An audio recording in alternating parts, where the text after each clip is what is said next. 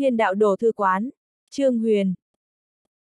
chương 801, đoạt xác tôn cường 1. Linh hồn chiếm chủ đạo, chính là chủ nhân thân thể.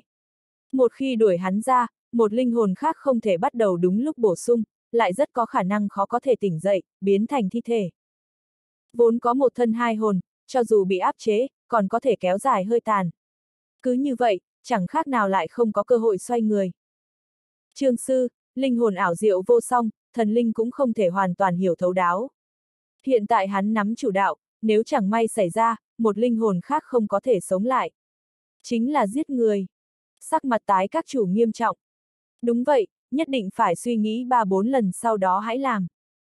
Lạc Tần cũng đầy sốt ruột. Người người đều biết lão nhân này tới nơi này giao dịch. Nếu thật sự chết tại đây, phòng đấu giá bọn họ có miệng cũng nói không rõ được. Quả thật phải nghĩ lại. Trương Huyền gật đầu. Bọn họ nói không sai. Linh hồn ảo diệu, không giống thân thể có thể tùy ý giải quyết. Một khi xử lý không tốt, biến thành đần độn ngược lại cũng thôi. Nếu thật sự chết, lại hắn khó thoát khỏi tội. Ta và các ngươi giao dịch, nhiều người như vậy tận mắt nhìn thấy được, một khi gặp chuyện không may, dám bảo các, phòng đấu giá, cũng đừng mong sống tốt. Thấy mọi người ném chuột sợ vỡ bình, lão già cười hắc hắc. Như vậy, ta cho ngươi một đề nghị, chúng ta tiếp tục giao dịch, vô hồn kim nhân vẫn thuộc ngươi. Nhưng, ngươi phải giúp ta loại bỏ linh hồn người nguyên chủ trong cơ thể. Dù sao cũng là giao dịch, cùng hắn cũng vậy, theo ta cũng vậy, cần gì mạo hiểm.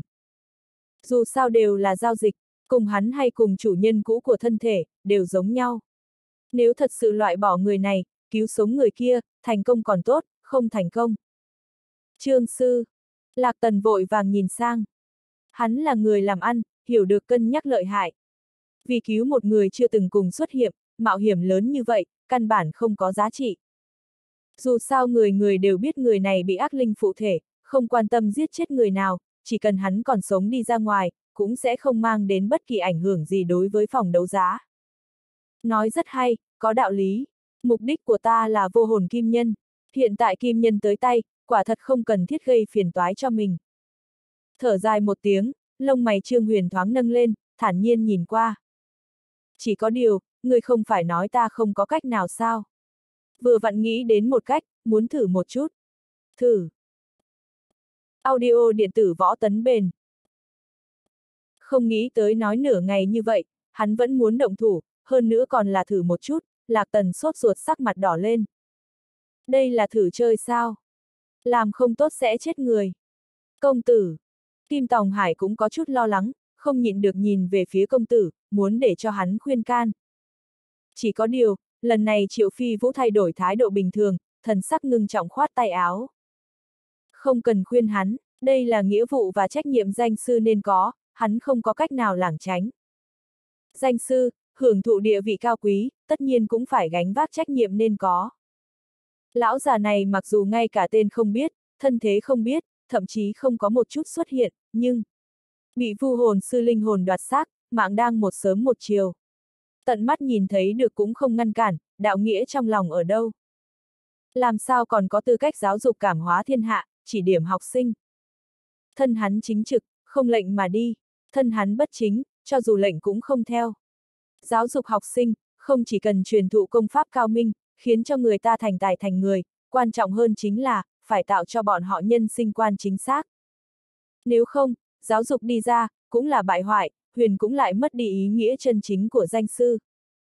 Cái này, Kim Tòng Hải sửng sốt, nắm đấm nhất thời siết chặt. Hắn là độc sư, vì mục đích có thể không từ thủ đoạn. Nhưng đối phương lại khác, là danh sư giáo dục cảm hóa thiên hạ. Gặp phải khó khăn, ngay cả mình cũng lùi bước, lại làm thế nào có thể khiến cho học sinh tin tưởng và nghe theo. Lão già cũng không nghĩ tới, phân tích lợi hại rõ ràng như vậy, người này còn muốn nghi vấn đối phó mình. Sắc mặt hắn trầm xuống. Ngươi là cố ý muốn đối nghịch với ta. Đối nghịch, ngươi suy nghĩ nhiều rồi. Chỉ là trục xuất ngươi ra mà thôi. Thân thể này không thuộc về ngươi, ngươi không có quyền giữ lấy. Hắn lắc đầu, cổ tay lật một cái. Mấy cây ngân châm xuất hiện ở trong lòng bàn tay. Ngân châm, ngươi muốn sử dụng cái này đối phó với linh hồn. Còn tưởng rằng đối phương có chỗ dựa gì, nhìn hắn lấy ra cái này, lão già cười nhạo. Thứ này trị liệu chân khí, chữa thương ốm đau, thật ra còn có thể. Linh hồn, đùa gì thế? Quả thực lại giống như dùng cung tiễn bắn mũi, không có bất cứ tác dụng gì. Không để ý tới sự nghi vấn của hắn, một dòng chân khí chảy xuôi. Trương Huyền búng ngón tay một cái, ngân châm hóa thành một tia ánh sáng lạnh, trực tiếp đâm tới. Ngân châm đối với linh hồn không có bất cứ tác dụng gì. Thấy người này thật sự sử dụng ngân châm đối phó với lão già, tái các chủ vỗ chán một cái. Vốn tưởng rằng đối phương nói tự tin như vậy, sẽ có biện pháp gì tốt. Xem ra cũng là sờ đá qua sông. Hắn xem qua không ít sách liên quan tới vu hồn sư, biết một vài chuyện về linh hồn. Muốn tiếp xúc, dựa vào loại ngoại vật này, căn bản là không có khả năng. Thật giống như rút đao chém nước, ngang kiếm chém gió, cho dù ngân châm đâm chúng, cũng là thân thể, đối với linh hồn vô hình vô chất mà nói, không có bất cứ tác dụng gì. Làm không tốt còn có thể ngăn cản kinh mạch lưu thông tạo thành bệnh tật trên thân thể. Muốn tiến hành loại bỏ đối với linh hồn, đầu tiên phải chuẩn bị áo gai, hoàng phù, các loại công cụ tế thiên, sau đó còn có trận pháp. Ngân châm chỉ là ngoại vật. Biết phương pháp không thể thực hiện được, tái các chủ lắc đầu, nói ra chuyện biết được, muốn để cho Trương Huyền dựa theo phương pháp bình thường đi làm. Mới nói được phân nửa, thoáng cái hắn câm nín, bị sặc nước bọt một cái, toàn thân không ngừng run rẩy. Cái này, sao có thể như vậy? Chỉ thấy lão già vừa rồi vẻ mặt còn kiêu ngạo, ngân châm vừa vào cơ thể, sắc mặt chợt trắng bệch. Ngay sau đó, hai mắt hắn lộ ra sự kinh hoàng, muốn chạy trốn, lại trực tiếp ngã xuống đất, không ngừng co giật. chương 802, đoạt sát tôn cường 2. Ngân châm đâm vào trong cơ thể, linh hồn không khống chế được. Điều này, làm sao làm được? Nếu như linh hồn thật sự dễ dàng đối phó, phù hồn sư cũng không đến mức khiến người ta vừa nói đã biến sắc, danh sư đường tự mình ra tay. Ngươi, chân khí của ngươi. Tài các chủ và những người khác chấn động kinh ngạc, lão già trực tiếp điên rồi. Vừa nói ngân châm vô dụng, kết quả là xuất hiện loại tình huống này. Sợ hãi mãnh liệt, khiến cho hắn liên tục thét lên chói tai. Hơn nữa lúc này, hắn cũng biết, đáng sợ không phải ngân châm, mà là chân khí của đối phương. Chân khí này mang theo lực lượng loại bỏ linh hồn, hồn phách của hắn vừa dính nào, giống như bị đốt rượu mạnh, đau đớn khó chịu được, toàn thân muốn nứt ra. Đây là, chân khí thượng tam phẩm. Đồng tử của lão già co lại, một từ ngữ xuất hiện trong đầu. Theo truyền thuyết, chân khí thượng tam phẩm không chỉ tinh thuần, còn có tác dụng trừ tà trốn hung. Đây cũng là nguyên nhân chủ yếu khiến vu hồn sư tuy rằng quỷ dị, đối với danh sư lại vẫn kính trọng mà xa cách.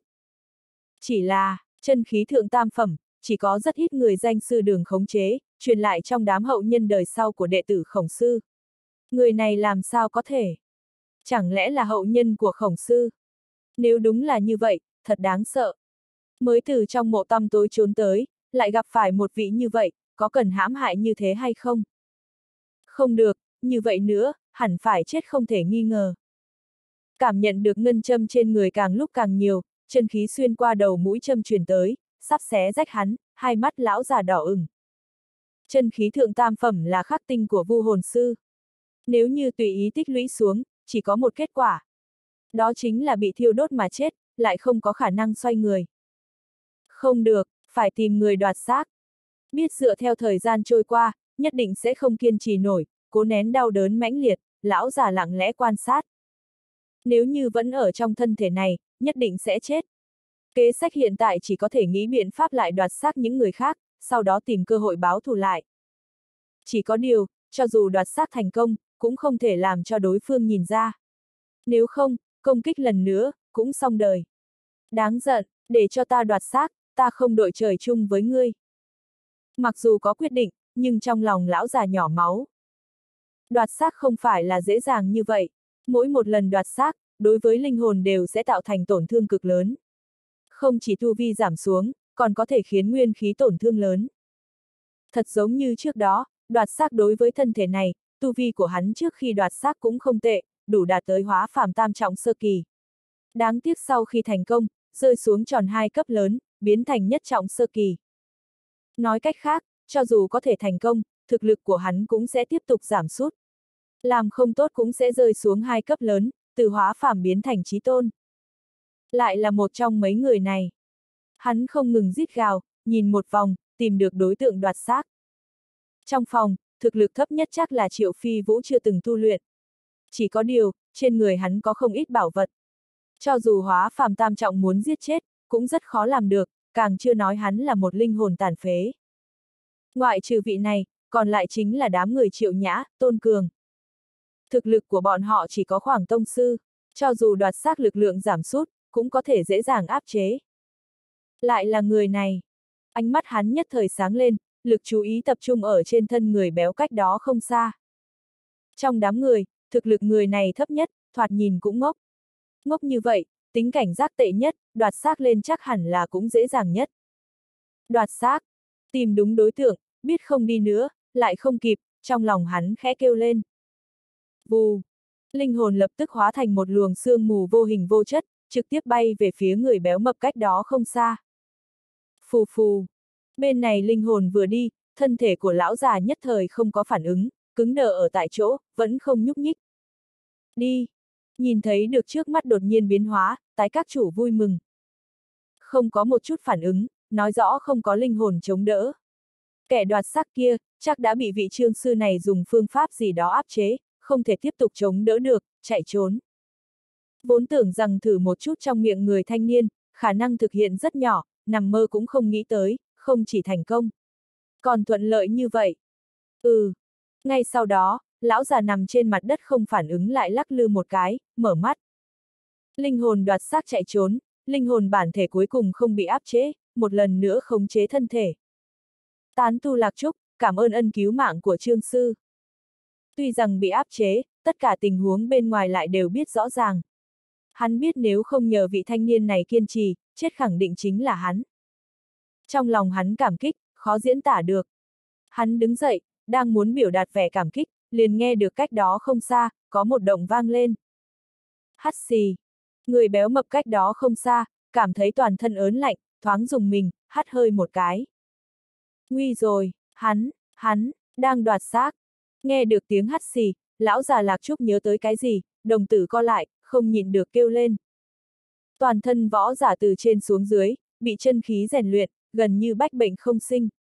Dưới tình huống bình thường, là sẽ không dễ dàng nhảy mũi. Trước đây hắn bị đoạt xác chính là thân thể ớn lạnh, hắt hơi một cái.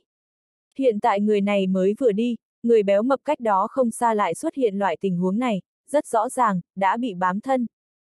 chương 803, vu hồn tẩm bổ, tu vi tăng mạnh một.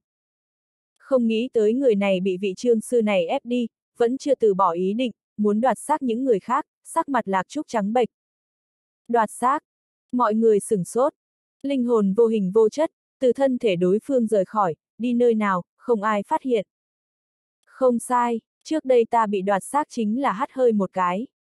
Người này nhất định là tiến vào thân thể hắn. Lạc Trúc vội vàng chỉ về phía người béo mập. Ta! Người béo mập dĩ nhiên chính là Tôn Cường. Hắn ở một bên đang nhìn thiếu gia đại triển thần uy, loại bỏ linh hồn. Chỉ thấy lão già chỉ sang, hắn sững sờ ở tại chỗ, mắt chớp chớp, vẻ mặt vô tội. Ta bị đoạt xác. Đoạt xác không phải tranh đoạt linh hồn sao? Thế nào mình rất tốt, một chút cảm giác không có. Người này vô cùng giảo hoạt, nhất định là biết một khi chiếm đoạt thân thể, sẽ bị trương sư trục xuất. Cho nên, tiến vào thân thể của ngươi, ẩn nấp. Lạc Trúc nói. Hắn từng bị đoạt xác, đối với thủ đoạn vu hồn sư xem như là biết không ít. Ẩn nấp. Tôn Cường vò đầu. Không sai, cơ thể người lớn như vậy, một khi ẩn nấp, căn bản không tìm được. Lạc Trúc sốt ruột. Linh hồn, thứ này thật sự muốn ẩn nấp đi, có thể ẩn nấp ở bất kỳ một chỗ nào trên thân thể. Người lợi hại hơn nữa cũng không phát hiện được. Như vậy tới nay, tên mập này chẳng khác nào cõng trên lưng một quả mìn hẹn giờ, bất cứ lúc nào cũng có thể bị đoạt xác. Giúp hắn loại bỏ ác linh, kết quả lại hại người khác, Lạc Trúc đầy hổ thẹn. Thật sự như vậy, vậy thì phiền toái. Tái các chủ cũng siết chặt nắm đấm. Căn cứ vào giới thiệu hắn xem qua, người bị đoạt xác, nếu như linh hồn đoạt xác hành động, chiếm đoạt quyền khống chế thân thể ngược lại cũng thôi, có thể bị phát hiện. Nếu vẫn cất giấu, mượn năng lượng thân thể đối phương tẩm bổ bản thân, giống như ký sinh trùng, thì phiền toái. Bởi vì không cướp giật quyền khống chế thân thể, chỉ là yên tĩnh chờ đợi, thật giống như bệnh còn chưa có phát tác, bệnh trạng đều không có, y sư lại lợi hại mấy cũng không có khả năng trị liệu. Ẩn nấp rồi, lá gan thật là lớn. Trương Huyền hừ một tiếng. Không nghĩ tới tên này sau khi bị xua đuổi, còn dám đoạt xác tôn cường. Sớm biết như vậy, liền trực tiếp tuôn ra chân khí, giết chết thần hồn của hắn. Chỉ có điều, ngược lại cũng không làm khó được hắn. Những người khác đối mặt, cho dù là danh sư thất tinh am hiểu linh hồn, muốn tìm kiếm linh hồn ẩn nấp ở trên thân thể, cũng rất khó khăn. Hắn lại khác. Thiên đạo đồ thư quán vừa ra, bất kỳ chỗ thiếu hụt nào cũng có thể tìm tới. Một linh hồn mà thôi, ẩn nấp ở góc nào cũng không có tác dụng. Tôn Cường, đánh một bộ quyền pháp. Trương Huyền nói. Vâng. Tôn Cường gật đầu, cổ tay lật một cái, quyền phong vù vù. Nhìn thấy được quyền pháp của hắn, khóe miệng đám người Kim Tòng Hải, tái các chủ đều giật một cái. Đường đường là cường giả tông sư cảnh, đánh ra lại là võ kỹ phàm phẩm hạ cấp, chiêu số tầm thường không chịu nổi, không đành lòng nhìn thẳng. Loại quyền pháp này, đặt ở liên minh vạn quốc, hai từ năm tuổi cũng có thể tùy tiện đánh ra vài bộ. Người này tự nhiên sử dụng cái này, suy nghĩ một chút cũng choáng váng. Gần đây chỉ tu luyện công pháp, không nghiên cứu võ kỹ. Nhìn thấy được vẻ mặt của mọi người, biết bọn họ suy nghĩ điều gì, Tôn Cường có chút xấu hổ. Trong khoảng thời gian này, thực lực của hắn đột nhiên tăng mạnh, võ kỹ căn bản là không có tu luyện qua, vẫn là những gì học được ở thiên huyền vương quốc ban đầu. Loại võ kỹ ở vương quốc không nhập lưu này, rơi vào trong mắt cao thủ lớn của liên minh vạn quốc, tất nhiên lại không tính là gì cả. Sử dụng loại võ kỹ cấp bậc như vậy, hơn nữa tu vi cũng có chút lỗ máng, một ngón tay là có thể đánh ngã không biết bao nhiêu người. Ở độc điện của hiên viên vương quốc tự nhiên bị người này hù dọa, Kim Tòng Hải, cổ mục đều cảm thấy có chút xấu hổ. Được. Không để ý tới biểu tình của mấy người, Trương Huyền thông qua quan sát võ kỹ, đã biết nơi linh hồn ẩn thân, lại lấy ra một cây ngân châm, trực tiếp đâm qua. Xì. Ngân châm tiến vào thân thể tôn cường, ngay sau đó liền nghe được bên trong có một tiếng gào thét chói tai vang lên. Ngươi, làm sao ngươi biết ta ở chỗ này? Ngay sau đó một sóng dao động linh hồn tức giận thở hổn hển, giống như có một âm thanh vang lên bên tai mọi người. Rất hiển nhiên, người này đoạt xác lạc trúc, không nghĩ tới ẩn nấp như thế, sẽ thoáng một cái bị phát hiện. Lăn ra đây, ta có thể không giết ngươi. Trên ngân châm, chân khí cuộn cuộn, Trương Huyền bực bội nói. Đi ra, hừ, nếu ngươi muốn đẩy ta vào chỗ chết, vậy đồng quy vô tận. Người này chỉ có tông sư cảnh, cắn nuốt lạc trúc ta làm không được. Cắn nuốt hắn, vẫn đặc biệt dễ dàng, ta có thể trong nháy mắt lại nghiền ép linh hồn hắn. Cho dù giết ta, nhận được cũng chỉ là một thi thể. Ý niệm linh hồn điên cuồng truyền lại. Không nên thương tổn người vô tội. Lạc Trúc vội vàng xông về phía trước. Trước đây hắn và đối phương rằng co, cũng sắp không kiên trì nổi. Người trước mắt này chỉ là tông sư cảnh, thật sự muốn đoạt xác, có thể không cần tốn quá nhiều sức, trong nháy mắt, linh hồn sẽ bị cắn nuốt sạch sẽ, tan thành mây khói. Hiện tại cầu ta, đã muộn rồi. Linh hồn điên cuồng gào thét, một khí tức cường đại, chợt bao phủ tôn cường, trực tiếp công kích về phía đầu của hắn, hình như muốn hoàn toàn cắn nuốt. Dù sao đều chết, giết một người là có lời, giết hai người lấy lại vốn, giết chết hắn, ta sẽ lại cắn nuốt những người khác. Ta vô hình vô chất, ngươi không bắt được ta, có thể làm gì ta? Ha ha, a, ta ngất, đây là trò đùa gì vậy? A, cứu mạng. Ý niệm điên cuồng gầm rú, đang đầy đắc ý, dự định một lần hành động tôn cường cắn nuốt sạch sẽ, đột nhiên hoảng sợ la lên. Ngay sau đó mọi người lại cảm thấy khí tức linh hồn mới vừa rồi còn vô cùng kiêu ngạo cường đại, giống như là quả cầu khí bị để vào trong chảo dầu, trong nháy mắt vỡ tan. chương 804, Vu hồn tẩm bổ, tu vi tăng mạnh 2. Đây, là chuyện gì? Lạc Trúc sững sờ ở tại chỗ. Đám người tái các chủ cũng mở to hai mắt nhìn. Vừa rồi rõ ràng cảm thấy sát ý của linh hồn đã quyết, hoàn toàn không có chút giữ lại. Thế nào thoáng một cái lại liên tục kêu thảm, giống như gặp quỷ. Lẽ nào trương sư sử dụng biện pháp gì? Bọn họ vội vàng quay đầu lại nhìn lại, chỉ thấy trương sư cũng không hiểu ra sao, hình như không biết rõ chuyện gì xảy ra. Bọn họ lại nhìn về phía tôn cường cách đó không xa, chỉ thấy hắn trợn tròn mắt, hai tay mở ra, vẻ mặt vô tội. Ta thật sự không muốn giết chết hắn. ầm ầm, còn chưa nói dứt lời, lại cảm thấy người béo mập này, giống như ăn được vật đại bổ, khí tức nhanh chóng bay lên, tu vi từ tông sư sơ kỳ, một đường tăng mạnh về phía trước. Đây là, phu hồn tẩm bổ, tu vi tăng mạnh. Trước mắt lạc trúc, tái các chủ đồng thời tối sầm. Có ý gì? Trương Huyền nhìn qua. Phu hồn sư không giống với võ giả bình thường. Võ giả tu luyện chân khí, thân thể. Bọn họ tu luyện là linh hồn. Bởi vậy, sẽ dung hợp tu vi suốt đời tiến vào hồn phách. Cho dù đoạt xác, cũng có thể nhanh chóng khôi phục, không đến mức suy yếu không chịu nổi. Môi lạc trúc trắng bệch. Hiện tại linh hồn của hắn bị loại bỏ, cũng chẳng khác nào tu vi toàn thân đều biến thành tầm bổ, tất cả truyền thụ ở trong cơ thể đối phương. Còn có chuyện này. Trương Huyền sửng sốt. Đúng vậy, lực lượng của vu hồn sư đều là hồn lực tinh thuần, không có bất kỳ thuộc tính nào. Chỉ cần là người tu luyện đều có thể tiếp nhận, hơn nữa không có bất kỳ xung đột nào. Nếu như đoán không sai, tu vi của hắn, nhất định sẽ tăng mạnh. Lạc Trúc nhìn về phía Tôn Cường đang đứng tại chỗ, đến bây giờ vẻ mặt vẫn ngỡ ngàng, cái gì cũng không biết, giọng nói run rẩy.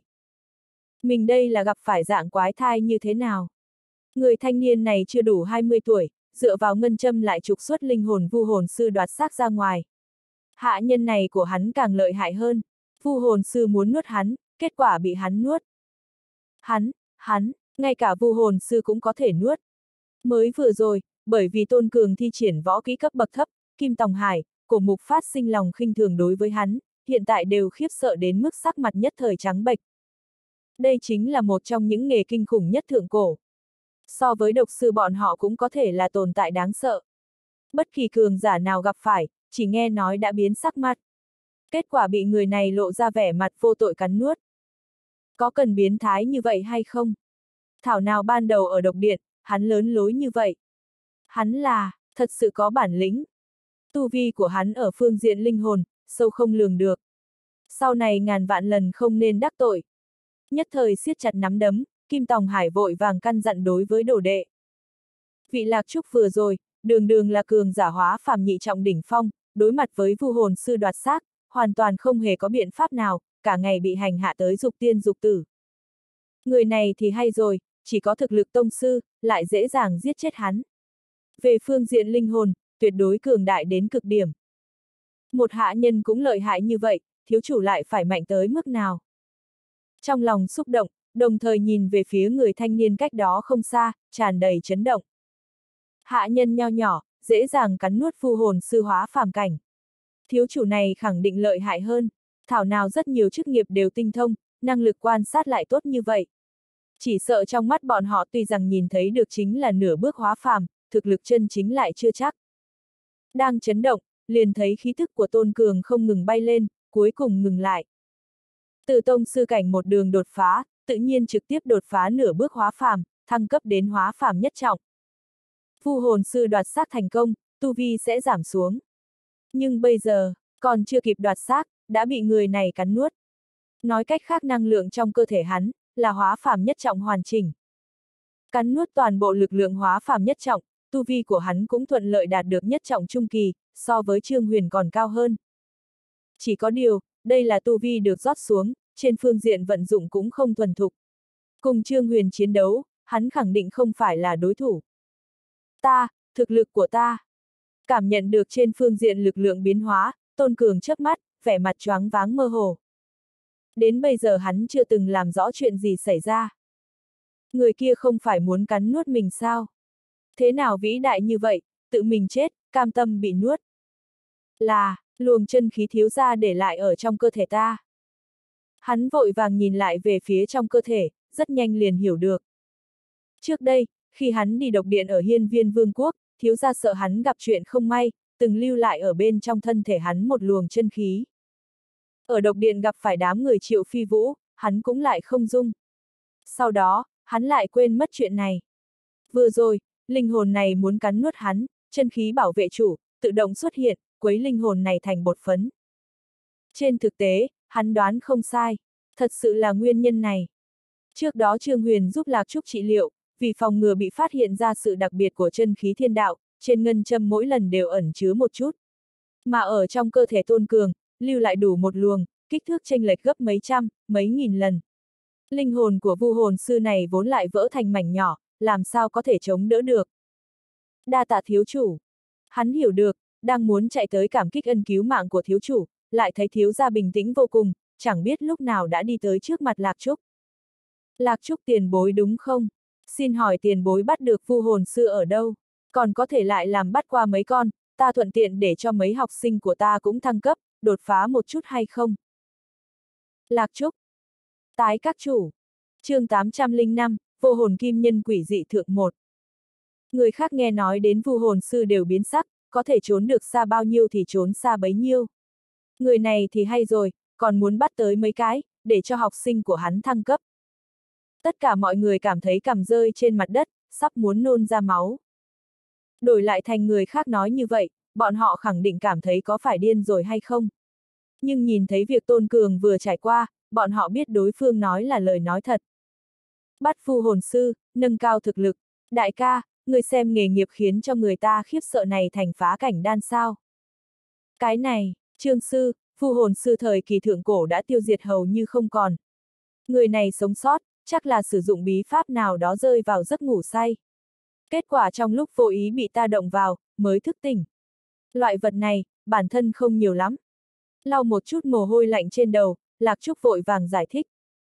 Phu hồn sư thời kỳ thượng cổ lại không nhiều lắm, sau lại còn bị danh sư đường diệt sạch, có thể sống được tới nay, đều giống như hổ phách, thuộc về cơ duyên xảo hợp. Người tưởng là khoai tây, củ cải trên đường, chụp một cái sẽ được cả đống. Đào một cái sẽ được một bao tải sao. Còn kiếm mấy cái để cho học sinh thăng cấp. Thật biết nghĩ. Không nhiều lắm, vậy thật sự là quá đáng tiếc. Vẻ mặt Trương Huyền tiếc nuối. Nhìn thấy tôn cường người ta thăng cấp, đơn giản giống như uống nước, tông sư cảnh trực tiếp đạt được hóa phàm nhất trọng.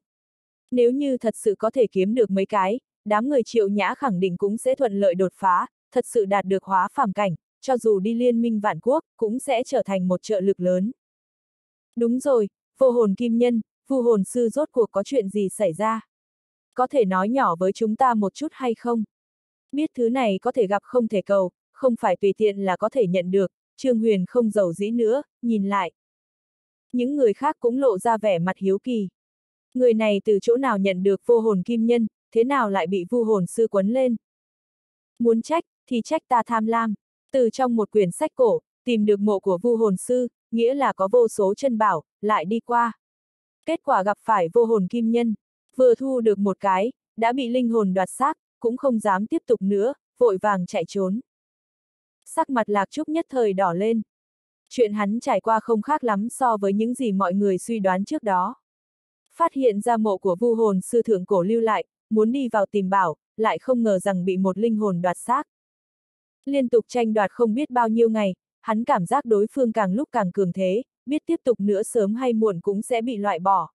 Lúc này hắn mới bất đắc dĩ đi tới phòng đấu giá, bán đi vô hồn kim nhân, hy vọng có thể mượn danh hiệu của giám bảo các, khiến cho càng nhiều người cảm giác hứng thú đối với vu hồn sư qua, thuận tiện giúp hắn giải quyết tai họa ngầm trong cơ thể. May là, vận khí hắn không tệ, gặp được vị trương sư này. Bằng không, đổi lại thành những người khác, nhất định sẽ đâm lao phải theo lao, trực tiếp giao dịch cùng linh hồn kia, luyện hóa hắn. Ta muốn đi xem, thuận tiện tìm kiếm một chút truyền thừa của vu hồn sư. Người có thể dẫn ta đi tới ngôi mộ kia hay không? Nghe xong việc trải qua của hắn, Trương Huyền mở miệng. Tới Hồng Hải Thành, mục đích lớn nhất chính là tìm kiếm truyền thừa của vu hồn sư, tìm được phương pháp cứu tỉnh lộ trùng. Hiện tại có cơ hội này, hắn tất nhiên sẽ không bỏ qua. Đi tới mộ, thân thể lạc trúc run lên. Trải qua chuyện lần trước, khiến cho hắn đến nay khó quên. Nếu như lại đi, hắn thật sự có chút sợ hãi và kiêng kỵ. Nếu như ngươi lo lắng, cũng có thể nói địa chỉ cho ta biết, ta tự mình đi là được. Cái này, không cần, cái mạng này của ta là do trương sư cứu. Nếu như trương sư thật sự muốn đi, dẫn người đi là được. Do dự một lát, Lạc Trúc cắn răng một cái. Nếu không có vị trương sư này, hiện tại linh hồn hắn đã bị phai mờ, hồn phi phách tán. Ơn lớn như vậy, tuyệt đối không phải một con vô hồn kim nhân là có thể báo đáp. Chỉ có điều, trương sư phải cẩn thận, chỗ kia vô cùng quỷ dị, tốt nhất có thể chuẩn bị trước, bằng không, ta sợ, cho dù thực lực ngươi cường đại, cũng khó lòng phòng bị. Nhớ tới quỷ dị trong ngôi mộ, trong lòng Lạc Trúc còn sợ hãi. Trương Huyền gật đầu. Có thể trở thành một trong những nghề khiến cho người thượng cổ kinh hoàng, khiếp sợ, vu hồn sư khẳng định không đơn giản. Tôn Cường mặc dù có thể dễ dàng luyện hóa tên kia, chân khí thiên đạo chiếm tác dụng lớn. Quan trọng hơn chính là, người này không biết sống bao lâu, đã cực kỳ suy yếu. Hơn nữa hắn cùng Lạc Trúc cạnh tranh quyền nắm thân thể trong tay lâu như vậy, giống như binh sĩ vừa hành quân mệt mỏi, bị dễ dàng đánh tan, chẳng có gì là lạ. Nhưng ngôi mộ kia lại khác, bên trong nếu chẳng may còn có linh hồn, thực lực không biết, thủ đoạn không biết, tuyệt đối không dễ dàng như vậy. Thứ cần thiết, ta đây liền chuẩn bị. Ba ngày sau, chúng ta xuất phát. Suy tư một chút, Lạc Trúc nói. Điều tra mộ của vu hồn sư lâu như vậy, đối với thứ linh hồn kiêng kỵ, hắn cũng biết một ít. Chỉ có điều, những vật phẩm này cần phải đặc biệt chế luyện chính xác, bên ngoài không có cách nào mua, hắn cần phải tự mình chuẩn bị. Được. Trương Huyền đồng ý. Vừa vặn công pháp, võ kỹ hắn để cho giám bảo các chuẩn bị cũng chưa làm xong. Ở đây cũng cũng không thiếu chuyện cần xử lý. Ba ngày đối với hắn mà nói, cũng vừa vặn kịp. Vậy, ta lại cáo từ trước. Lại nói một hồi, quyết định chi tiết đi mộ của vu hồn sư, lúc này Lạc Trúc mới ôm quyền rời đi. Trương sư, truyền thừa của vu hồn sư đứt đoạn, vô cùng quỷ dị. Ta, cũng muốn cùng đi qua nhìn một chút, chẳng biết có được không.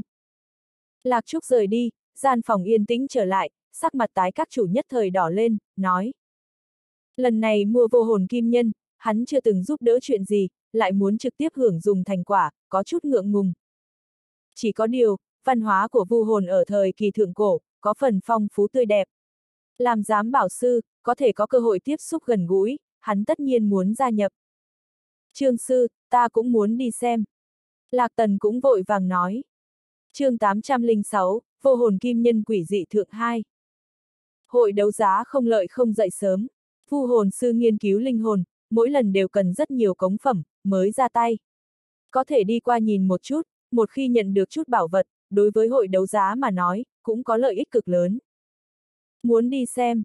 Trương Huyền nhíu mày một cái, đột nhiên ánh mắt nhất thời sáng lên. Được, chỉ có điều, ta khuyên các người cầm chuẩn bị trước đủ linh thạch. Vạn nhất có bảo bối gì, cũng có thể có tiền mua. Hai người này đều là chủ nhân có tiền. Nếu may mắn ở trong mộ kiếm được thứ tốt, có thể trực tiếp bán cho bọn họ, từ trong đó kiếm lấy lợi ích. Hiện tại kim tệ với hắn mà nói không có tác dụng gì. Có thể chuẩn bị nhiều linh thạch một chút, không quan tâm bản thân mình hay đám người triệu nhã, tu luyện đều sẽ là làm ít công to. Vâng. Hai người gật đầu đáp ứng. Đổi lại thành người khác dám nói như vậy, lấy thân phận của hai người, khẳng định sẽ đánh cho đối phương răng rơi đầy đất. Nhưng từ khi chứng kiến thủ đoạn thần quỷ khó lường vị trương sư này, ngay cả vu hồn sư cũng có thể dễ dàng chém chết. Loại ý nghĩ này bọn họ tuyệt đối không dám có. Tùy tiện xông vào, khiến lưu thương khúc thủy ngừng lại, liếc mắt nhìn ra đoạt xác.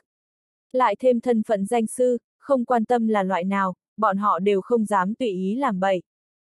Đúng rồi, có thể làm phiền tái cách chủ, dẫn ta đi tới tàng thư khố của các ngươi, xem sách liên quan tới vu hồn sư hay không. Xác định xong, Trương Huyền nhìn về phía tái các chủ.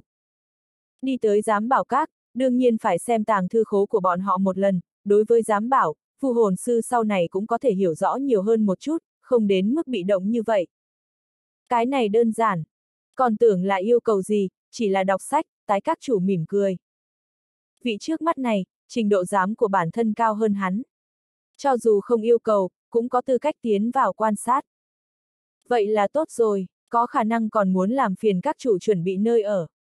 Mấy học sinh này của ta, còn có vị triệu công tử này, cần nghỉ ngơi. Trương Huyền nói tiếp, từ hiên viên vương quốc một đường chạy tới, vừa đến liền tiến vào giám bảo các, sau đó lại tham gia buổi đấu giá. Tất cả mọi người cảm thấy có chút mệt mỏi. Tái các chủ gật đầu lui ra ngoài. Thời gian không lâu, hắn lại an bài mấy gian phòng yên tĩnh. Tiến vào trong đó, Trương Huyền gọi đám người triệu nhã đến bên cạnh. Đi mộ của vu hồn sư nguy hiểm vô cùng. Mấy ngày tới mau chóng nâng cao thực lực, mới có thể bảo đảm an toàn.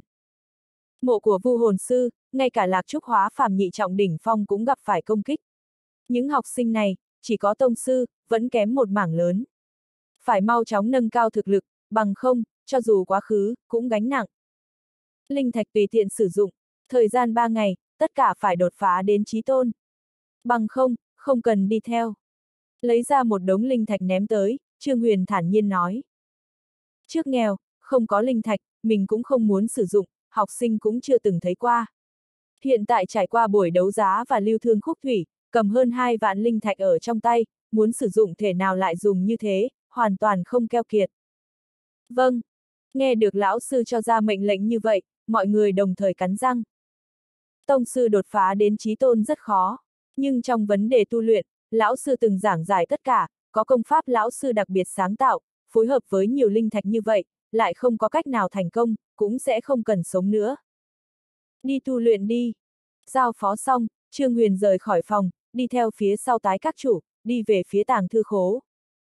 Giám bảo, liên quan tới rất nhiều chức nghiệp, nhân văn, lịch sử, thi họa, đồ cổ, binh khí. Trong đó ẩn chứa tri thức nhiều không đếm xuể. Tàng thư khố thu thập sách, cũng càng phong phú hơn so với những chức nghiệp khác. Liếc mắt thoáng nhìn, Trương Huyền đã bị sự khổng lồ của tàng thư khố làm chấn động. So sánh với nơi đây, tàng thư khố trước đó nhìn thấy được ở Thiên Vũ Vương quốc, thậm chí danh sư đường ở Hiên Viên Vương quốc, cũng không đáng để nhắc tới. Bắt đầu, Trương Huyền lại thu sách vào. Vù vù, tốn gần một ngày, hắn mới thu hết tất cả sách. Trở lại nơi ở, lúc này hắn mới phát hiện toàn thân co quắp, cũng sắp không đứng dậy nổi.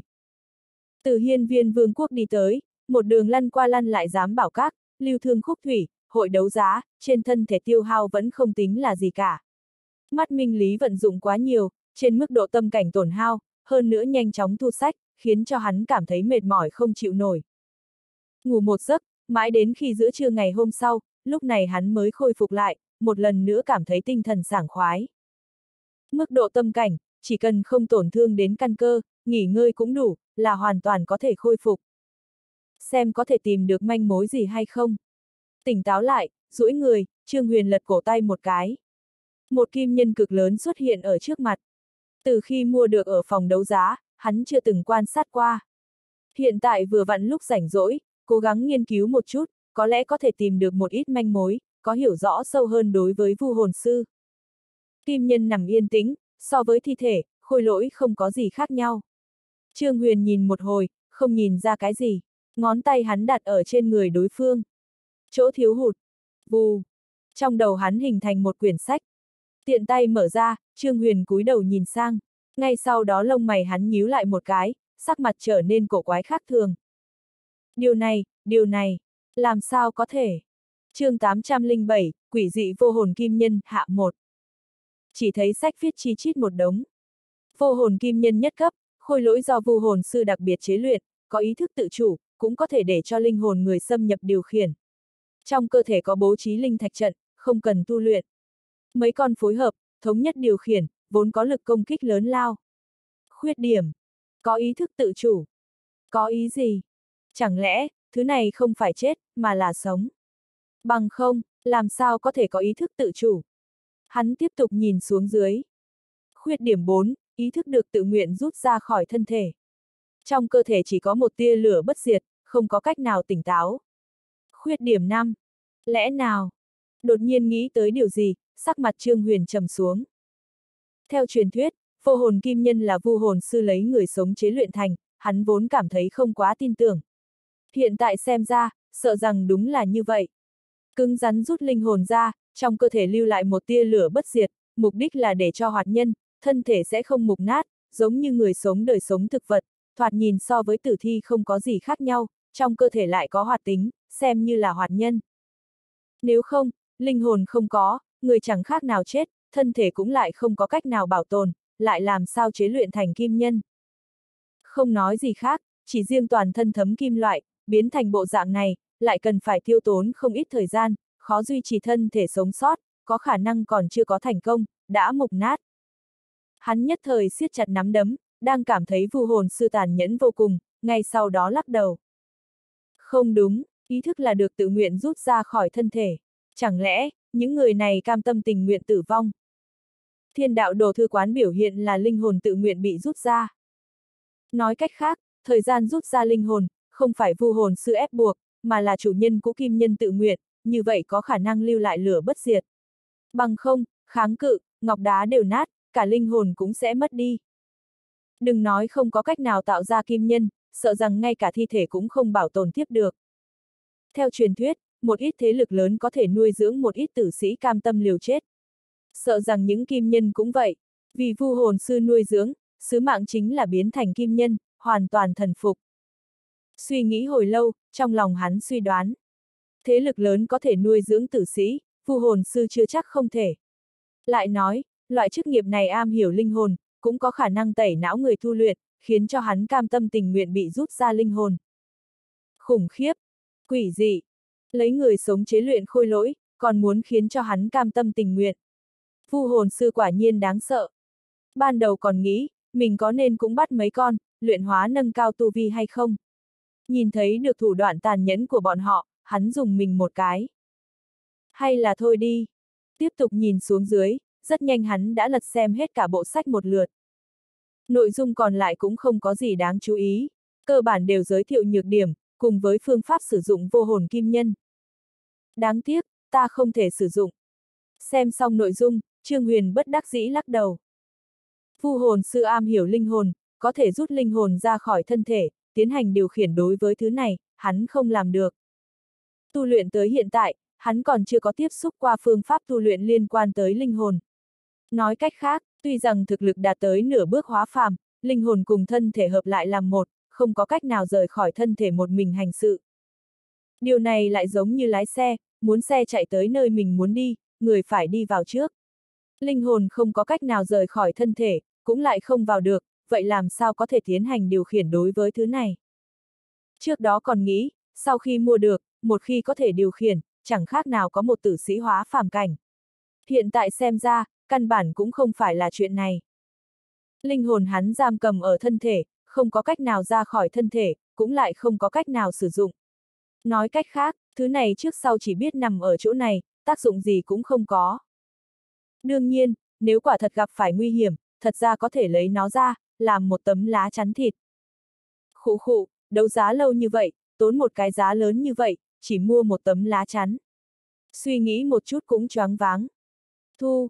Lại nhìn một hồi, nhưng không có phát hiện ra tin tức gì hữu dụng, hắn thu kim nhân vào chiếc nhẫn chữ vật. Ngay sau đó lòng bàn tay hắn thoáng lắc một cái, một quả cầu xuất hiện. Đây chính là hộp thiên công cơ xảo, Trần trưởng lão đánh cược thua không có tiền trả lại, bồi thường. Nơi này có một chỗ thiếu hụt, ở đây cũng có, ở đây còn có. Vuốt ve thứ tròn tròn giống như quả tạ, ngón tay truyền vào chân khí, dựa theo chỗ thiếu hụt ghi chép trong đồ thư quán điểm qua từng chỗ. Tổng cộng 17 chỗ khuyết điểm, rất nhanh bị điểm hết.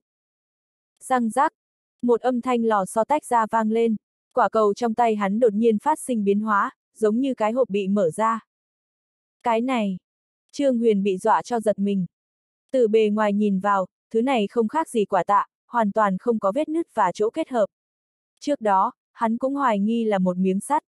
Nằm mơ cũng không nghĩ tới tự nhiên có thể mở ra. Quá tinh xảo. Hắn cúi đầu liếc mắt thoáng nhìn, không nhịn được tán thưởng. Chẳng lẽ cái gọi là thiên công viện này, giống như thú đường, nghiệp đoàn luyện đan sư, là nơi thiên công sư tập trung lại. Xem xong tất cả sách của giám bảo các, tuy rằng tri thức không thông hiểu đạo lý, nhưng cũng biết một chức nghiệp rất lợi hại, thiên công sư. Loại chức nghiệp này, không có vũ lực quá cao, nghiên cứu chính là sự nhanh nhẹn linh hoạt, thuộc về chức nghiệp hạ cửu lưu. chương 808, Quỷ dị vô hồn kim nhân, hạ 2. Theo truyền thuyết, đó là nơi có thể thiết kế ám khí tinh vi nhất, và khôi lỗi phức tạp nhất trên đời này. Nhất là khôi giáp, luyện khí sư chế luyện tuy rằng phù hợp thân thể, nhưng muốn phát huy hiệu quả lớn hơn nữa, lại cần phải tìm loại người chức nghiệp này. Vô số cường giả chế luyện binh khí, sẽ đồng thời mời thiên công sư và luyện khí sư đi theo. Mời bọn họ tự mình thiết kế, một trong những bình khí bình thường, sẽ ẩn chứa vô số pháp môn, khiến người ta khó lòng phòng bị. Không nói gì khác, cây trường thương này của Trịnh Dương, là bình thường nhất, cần phải gấp từng đoạn một, phiền phức vô cùng. Nếu như thiên công sư ra tay, trong đó thiết kế chốt lò xo, cầm trong tay chỉ có kích thước dài bang chiếc đũa, nhẹ nhàng nhấn một cái, là có thể thay đổi dài hơn một trượng, uy lực vô cùng.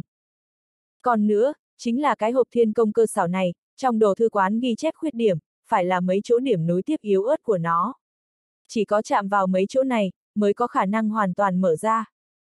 Bằng không, cho dù lực lượng cường thịnh mấy đi nữa, cũng không thể làm gì được.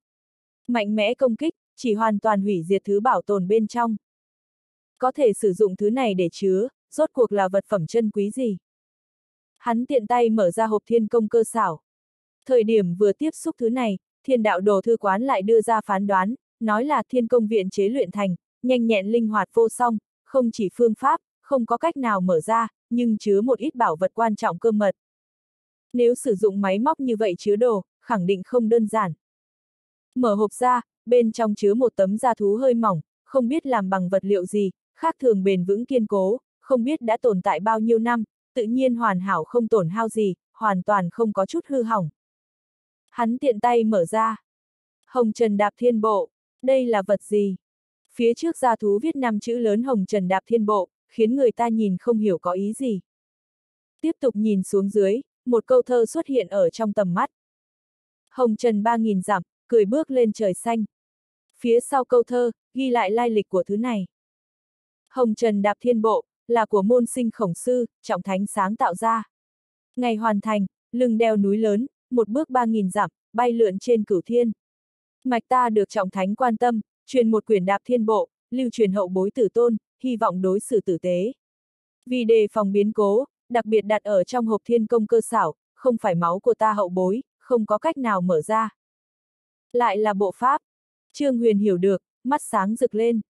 Môn sinh khổng sư sáng chế, bộ công pháp này giá trị to lớn, có thể tưởng tượng được. Thảo nào cần hộp thiên công cơ xảo chứa vào. Dựa theo đạo lý, thứ này đặt ra phương pháp mở ra đặc biệt, giống như phía trên viết, không có máu hậu bối của mạch bọn họ, không có cách nào mở ra. Trương Huyền tất nhiên không phải là hậu bối của bọn họ, thậm chí cũng không biết một mạch này là gì. Cho dù có thể mở ra, là bởi vì thiên đạo đồ thư quán, tìm được chỗ thiếu hụt của thứ đồ này. Cái này giống hệt với mật mã ở kiếp trước, biết mật mã có thể mở ra. Nếu như quên, tiến vào tiếp xúc với nhân viên quản lý, sử dụng mật mã của nhân viên quản lý, cũng có thể mở ra. Hiện tại hắn sử dụng chính là cái này. Đồ thư quán trực tiếp hiểu thấu đáo bản chất của hộp kỹ xảo, xuống tay từ căn bản, lại nghiêm mật, lại kỹ xảo nữa, cũng không chịu được một đòn. Môn sinh khổng sư lưu lại công pháp, không biết có chỗ thiếu hụt hay không. Cầm bí tịch, Trương Huyền thầm hô chỗ thiếu hụt. Hiện tại không quan tâm công pháp gì, hắn đều hình thành thói quen, xem trước một chút có khuyết điểm hay không. Vật này là do môn sinh của khổng sư tự mình sáng chế, cấp bậc cao có thể tưởng tượng được. Chỉ có điều, cấp bậc cao, khẳng định cũng có chỗ sơ hở. Xem trước một chút lại nói sau. Vù. Trong đầu hắn xuất hiện một quyển sách, hắn tiện tay mở ra. Chỉ có 42 chỗ thiếu hụt. Rất nhanh lật xem xong sách, Trương Huyền líu lưỡi. Không hổ danh là bộ pháp do môn sinh khổng sư sáng lập ra. Thật là đáng sợ, có ít nhất chừng 40 chỗ thiếu hụt, ở trong võ kỹ xem như là hiếm có. Trước đó hắn nhìn thấy được võ kỹ, cơ bản cũng phải có mấy trăm chỗ khuyết điểm. Chính vì vậy, mỗi một bộ công pháp, đều cần hơn một nghìn quyển bí tịch để bù đắp, mới có khả năng viên mãn giống như một, lại không có chỗ sơ hở. Cái võ kỹ này, ngay cả 50 chỗ cũng không có, đủ để nói rõ sự lợi hại. Truyền đi tất nhiên gây ra tinh phong huyết vũ. Có nhiều chỗ thiếu hụt như vậy, cũng không dám tu luyện. Không biết khuyết điểm ngược lại cũng thôi. Biết khuyết điểm, vẻ mặt Trương Huyền giống như trái mướp đắng. Điều này lại giống như hoa quả ăn thật ngon, khi thấy trong đó có vô số sâu bò loạn, cũng cảm giác lại không muốn ăn nữa. Tu luyện không khuyết điểm công pháp, võ kỹ thói quen, biết phương diện này có hơn 40 chỗ, có chút khó có thể nuốt xuống. Đúng rồi, thân pháp thiên đạo cũng là một loại bộ pháp. Xem có thể dung hợp với nhau hay không. Thân pháp thiên đạo, là do hắn thu thập vô số quyển bí tịch bộ pháp, thân pháp dung hợp thành. Tuy chỉ là cơ sở, lại đại biểu đại đạo huyền bí tối giản, có lẽ có thể dung hợp hai loại. Dung hợp, chính xác. Đặt hai bộ sách ở chung một chỗ, tinh thần hắn lại thoáng động. Bù, Một quyển sách mới xuất hiện. Hắn lại mở ra. Chỉ có ba chỗ khuyết điểm. Quá tốt, tuy rằng chỉ có ba chỗ, đã có thể tu luyện. Ánh mắt Trương Huyền nhất thời sáng lên. Ba chỗ thiếu hụt tuy rằng so với công pháp trước đó, cũng không ít, lại đáng giá để tu luyện. Cùng lắm thì sau đó lại thu thập thêm loại bí tịch bộ pháp, nghĩ biện pháp dung hợp. Biết có thể tu luyện, hắn không do dự, nhìn về phía nội dung của bí tịch. Vừa nhìn xuống, đồng tử hắn co lại, trong nháy mắt môi trắng bệch. Hồng Trần đạp thiên bộ tề thiên quyển, chẳng lẽ là... Bay! chương 809, Tống Siêu muốn chỉ điểm Trương Huyền thượng một. Tề thiên, cùng ngang với trời. Người tu luyện bình thường, cho dù là cường giả hóa phàm, cũng không thể bay, chỉ có thể mượn man thú bay, rong ruổi thiên hạ. Quyền công pháp này lại được gọi là tề thiên, chẳng phải cho thấy, có thể bay lên, sóng vai cùng trời sao. Bay, lại là mơ ước lớn nhất, cho dù là kiếp trước hay kiếp này, trong lòng đều tồn tại khát vọng. Đột nhiên nhìn thấy được nội dung, có thể tưởng tượng được kích động trong lòng hắn. Hồng Trần thoáng cười, cưỡi gió đi, tề thiên quyển, sau khi tu luyện thành, bay lượn trời cao, có thể ngang cùng thiên. Mở quyển sách, nội dung lọt vào mặt. Lợi hại. Cẩn thận đọc nội dung trong đó, Trương Huyền cảm thấy lý giải đối với tu luyện, trong nháy mắt bị mở ra. Bay, cao thủ hóa phàm cửu trọng cũng chưa đạt tới. Theo truyền thuyết chỉ có đột phá cảnh giới này, mới có khả năng hoàn thành. Phía trên này ghi lại, chỉ cần cố gắng tu luyện, hóa phàm nhất trọng có thể làm được. Thậm chí, loại nửa bước hóa phàm này cũng có thể hoàn thành. Hóa phàm, cảm ngộ tự nhiên, đối với hoàn cảnh chung quanh có năng lực khống chế nhất định. Chuyển hóa tập trung lại loại năng lực này, có thể đạp không đi, giống như leo cầu thang. Lý giải ý tứ trong đó. Đổi lại thành nửa bước hóa phàm khác, công pháp thâm ảo như vậy, cho dù cho cũng xem không hiểu. Nhưng hắn lại khác, thiên đạo đồ thư quán điều tra rõ chỗ thiếu hụt, trong đầu lại dung hợp nhiều tri thức như vậy, rất nhiều chỗ tuy rằng khó có thể lý giải, nhưng cũng không tạo thành khó khăn quá lớn. Người rơi vào trong nước, có thể đạp nước không ngừng leo lên phía trước. Nước không phải thực chất, nhưng có thể nâng người di chuyển lên trên. Không khí cũng có thể, chỉ cần tìm đúng phương pháp điều khiển tự nhiên, đạp không khí không ngừng bay, không phải là vấn đề hóc búa, cũng chính là lấy khí điều khiển khí. Không biết qua bao lâu, Trương Huyền mở miệng thở ra một hơi, hai mắt tỏa ánh sáng. Tự nhiên có thể sáng tạo ra võ kỹ lợi hại như thế, lợi hại. Không hổ danh là môn sinh của khổng sư, nhìn trời đất tự nhiên lý giải, đã đạt đến mức độ khiến cho người ta không thể tưởng tượng nổi. Trước đó đã gặp rất nhiều võ kỹ, công pháp, vừa so sánh với nó, kém hơn quá nhiều, hoàn toàn không thể so sánh. Nhìn xong cái này, thật giống như đẩy ra một thế giới mới, mở ra một cửa lớn mới, đối với võ kỹ, công pháp trước đây tu luyện, cũng có hiểu biết sâu hơn. Đáng tiếc, đây chỉ là quyển thứ nhất, không biết phía sau sẽ cao minh đến mức nào. Trong lòng hắn cũng có chút thương tiếc. Nhìn xong hắn cũng đã biết, đây chỉ là phần đầu của Hồng Trần Đạp Thiên Bộ, chỉ thích hợp cho người hóa phàm cảnh tu luyện. Đợi đạt được cảnh giới cao hơn, cơ bản sẽ không có tác dụng gì. Bởi vì vượt qua hóa phàm, là có thể bay. Cho dù tu luyện nữa, cũng sẽ chỉ làm tốc độ bay tăng thêm một ít, tác dụng sẽ không quá lớn. Thử xem. Lại điều chỉnh một hồi, cắt tỉa toàn bộ nội dung của tề thiên quyển một lần, lúc này hắn mới ngồi xếp bằng, dựa theo phương pháp trong võ kỹ vận chuyển chân khí, bắt đầu tu luyện. Mặc dù chỉ là nửa bước hóa phàm, nhưng đối với hoàn cảnh chung quanh đã có năng lực khống chế nhất định, tập trung tinh thần cao độ, lực lượng toàn thân tập trung ở một điểm. Vù! Thân thể ngồi khoanh chân ở tại chỗ, thong thả lơ lửng, giống như rơi vào đáy quả cầu nước, tự động lơ lửng bay về phía trước. Phù phù! Duy trì không được ba lần hít thở, hắn rơi xuống, miệng mở lớn thở hổn hển. Tiêu hao thật là khủng khiếp. Sắc mặt Trương Huyền trở nên trắng bệch. Chỉ duy trì ở trên không trung ba lần hít thở, hắn lại gần như tiêu hao sạch sẽ chân khí trong cơ thể tiêu hao sạch sẽ, cái này hồng trần đạp thiên bộ, nghe cường đại, có thể bay cũng rất huy phong, nhưng tiêu hao đối với chân khí cũng thật sự quá khoa trương. Chỉ có thể sử dụng thời gian ngắn như vậy, hắn sợ vừa bay lên, còn chưa có làm ra một hai động tác, đã bị rơi xuống ngã chết. Xem ra, là một võ kỹ có chút vô nghĩa. Vẻ mặt chán nản.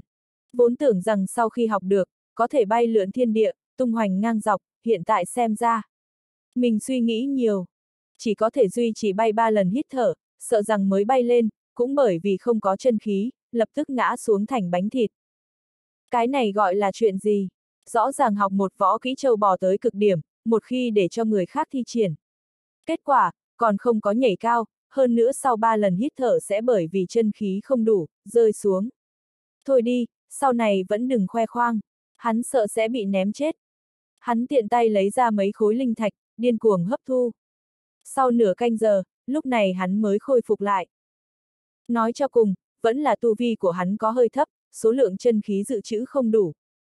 Nếu như tu vi cao thêm mấy cấp bậc, có khả năng sẽ dễ dàng hơn rất nhiều. Bay trên trời xuống đất, cũng trở nên đơn giản. Lại nghiên cứu một hồi, hắn biết thực lực bây giờ, quả thật không thích hợp sử dụng võ kỹ này, lúc này Trương Huyền mới duỗi người, đẩy cửa đi ra ngoài. Thiếu gia, bên ngoài có người muốn gặp thiếu gia, đã bị ta đuổi đi ba lần, mỗi ngày còn không biết xấu hổ tới. Thiếu gia xem, có nên nói cho biết kim tiền bối, trực tiếp ném ra hay không? Mới ra khỏi cửa, hắn đã nhìn thấy Tôn Cường sốt ruột vội vàng nghênh đón, vẻ mặt nổi giận đùng đùng, Muốn gặp ta, ai? Trương Huyền sửng sốt. Ở chỗ này hắn không có người quen nào. Chạy qua tìm mình làm gì? Không biết là ai, đã hỏi thật nhiều lần, hắn cũng không nói. Chảnh giống như hai năm tám vạn, nhìn lại bực mình. Tôn Cường hừ nói. Chảnh. Trương Huyền lại càng kỳ quái. Trên thế giới này còn có người nào còn chảnh hơn so với vị cường ca trước mắt này. Có thể khiến cho hắn tức giận thành như vậy, cũng coi như kỳ lạ. Bây giờ còn ở đây không? Hắn không nhịn được hỏi. Ở đây. Dẫn ta đi xem một chút. Trương Huyền khoát tay áo. Được, lại ở phòng khách bên đó. Tôn Cường chỉ. Tái các chủ tìm nơi ở cho bọn họ, nói trắng ra là là một tòa tiểu viện độc lập, 7, 8 phòng ngủ, và một phòng tiếp khách không lớn. chương 810, Tống Siêu muốn chỉ điểm Trương Huyền thượng 2. Đi tới phòng khách, quả nhiên thấy một người thanh niên ngồi ngay ngắn trong đó. Phía sau người thanh niên là một lão già, khí tức toàn thân mơ hồ, cho thấy tu vi không tầm thường.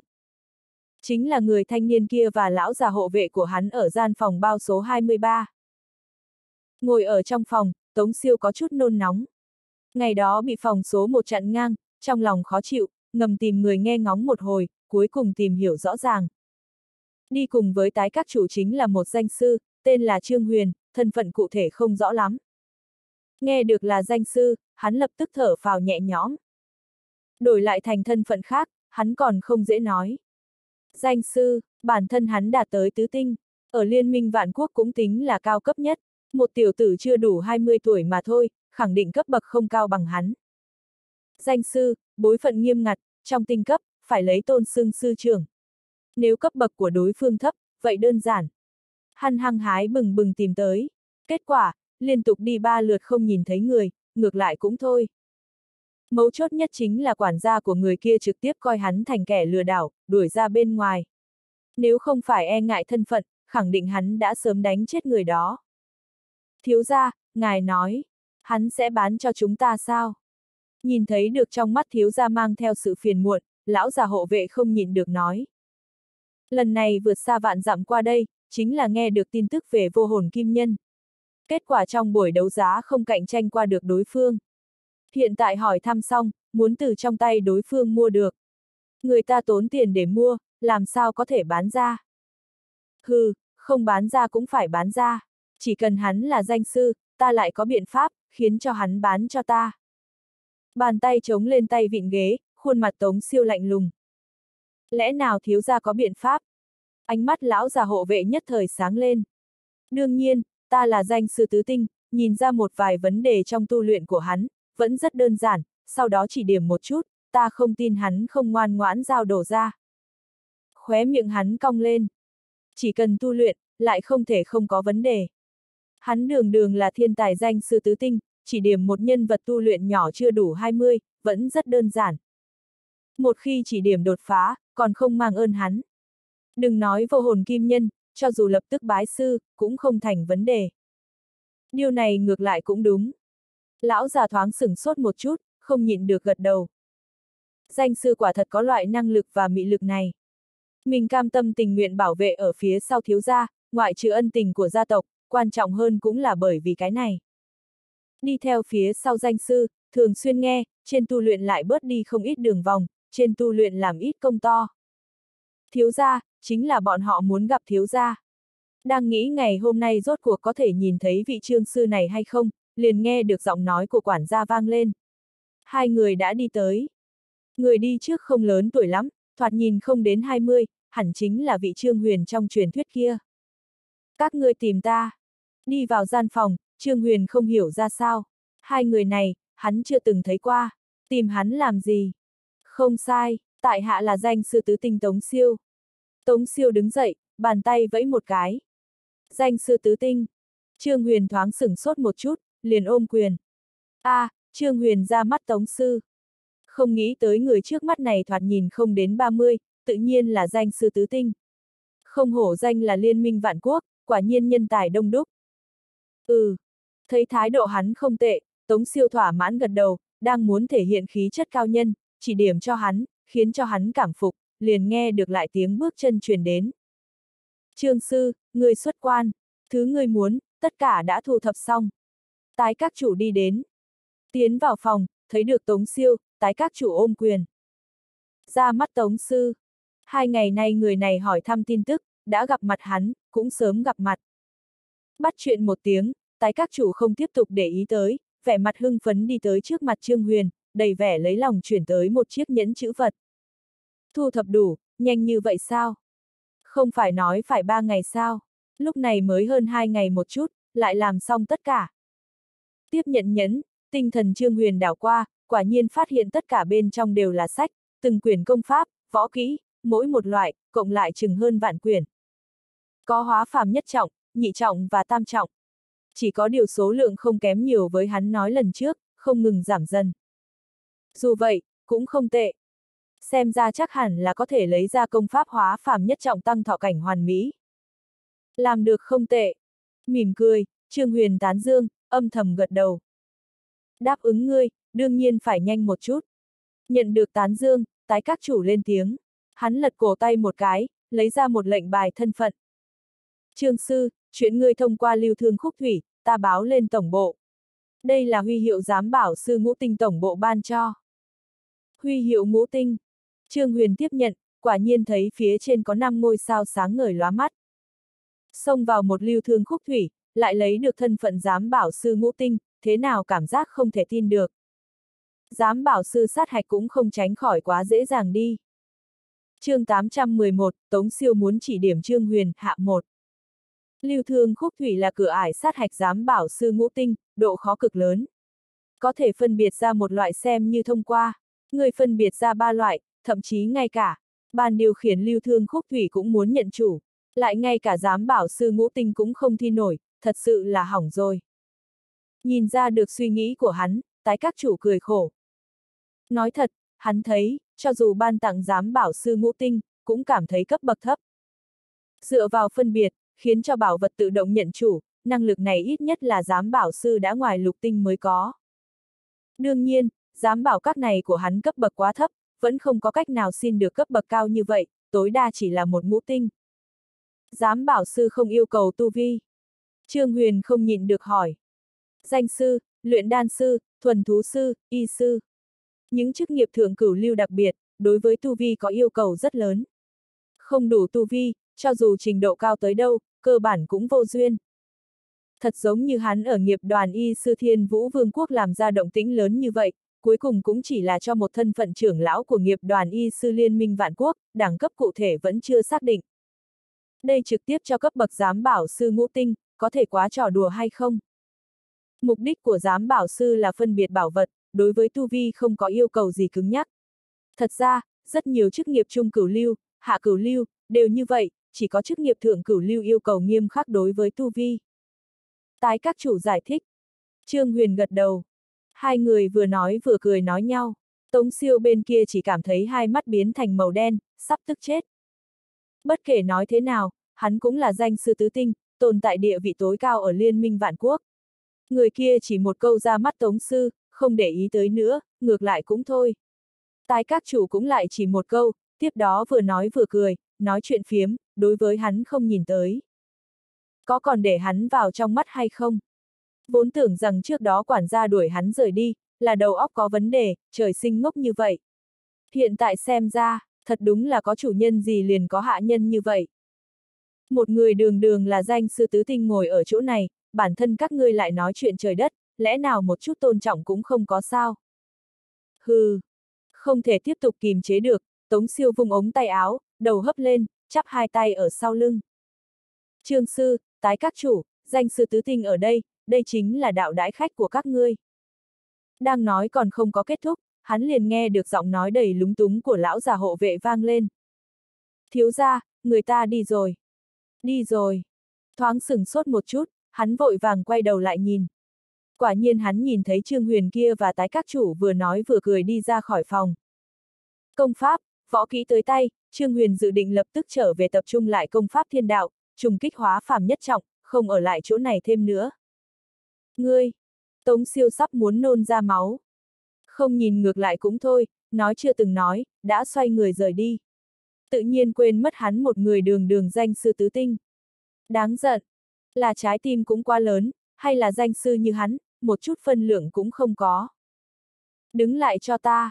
Hắn gầm lên một tiếng phẫn nộ, không thể tiếp tục kìm chế được, thân thể thoáng lắc một cái, toàn thân giống như huyễn ảnh vậy, bay ra khoảng cách mấy chục thước, ngăn cản trước mặt hai người. Vừa sử dụng võ kỹ, lập tức cho thấy tu vi, lại là cường giả hóa phàm tam trọng âm dương cảnh sơ kỳ. Trương sư, người cũng biết công pháp tu luyện của ngươi xảy ra vấn đề. Nguy hiểm sớm tối, còn không tự biết. Cố nén phẫn nộ, Tống siêu biết chiến đấu không thể giải quyết vấn đề, nhìn qua, bộ dạng cao nhân. Công pháp tu luyện của ta. Công pháp hắn tu luyện là do thiên đạo đồ thư quán sàng lọc, không có một chỗ sai lầm, làm sao có thể xảy ra vấn đề. Chỉ có điều, thoáng sừng sốt một chút, Trương Huyền lại hiểu được. Chỉ cần tu luyện, nhất định sẽ xuất hiện vấn đề như vậy, không thể tránh được. Người này chắc là dùng ngôn ngữ gạt mình, sau đó lại nghĩ biện pháp tìm ra chỗ thiếu sót của công pháp, giúp mình chỉ điểm. Không ít danh sư mạnh mẽ thu đồ đệ, là làm như thế. Thậm chí ngay cả hắn, cũng từng làm như vậy. Trước đây đám người Vương Dĩnh chính là bị lừa dối như vậy. Không sai, nếu như ngươi muốn đột phá cảnh giới bây giờ, ta có thể giúp ngươi chỉ điểm, cho ngươi bớt đi đường vòng.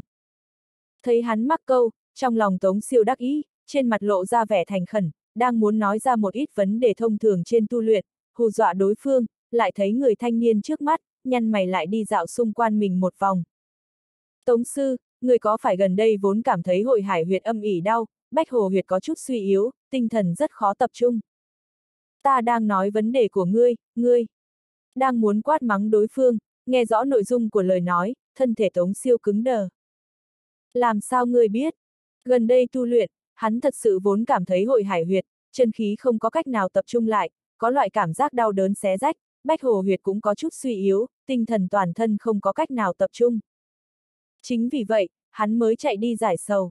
Trong lúc vô ý nghe được tin tức về vô hồn kim nhân, hắn đi tới nơi này, bằng không, đường đường là danh sư tứ tinh thiên tài, làm gì có nhiều thời gian rảnh rỗi, chạy loạn khắp nơi như vậy.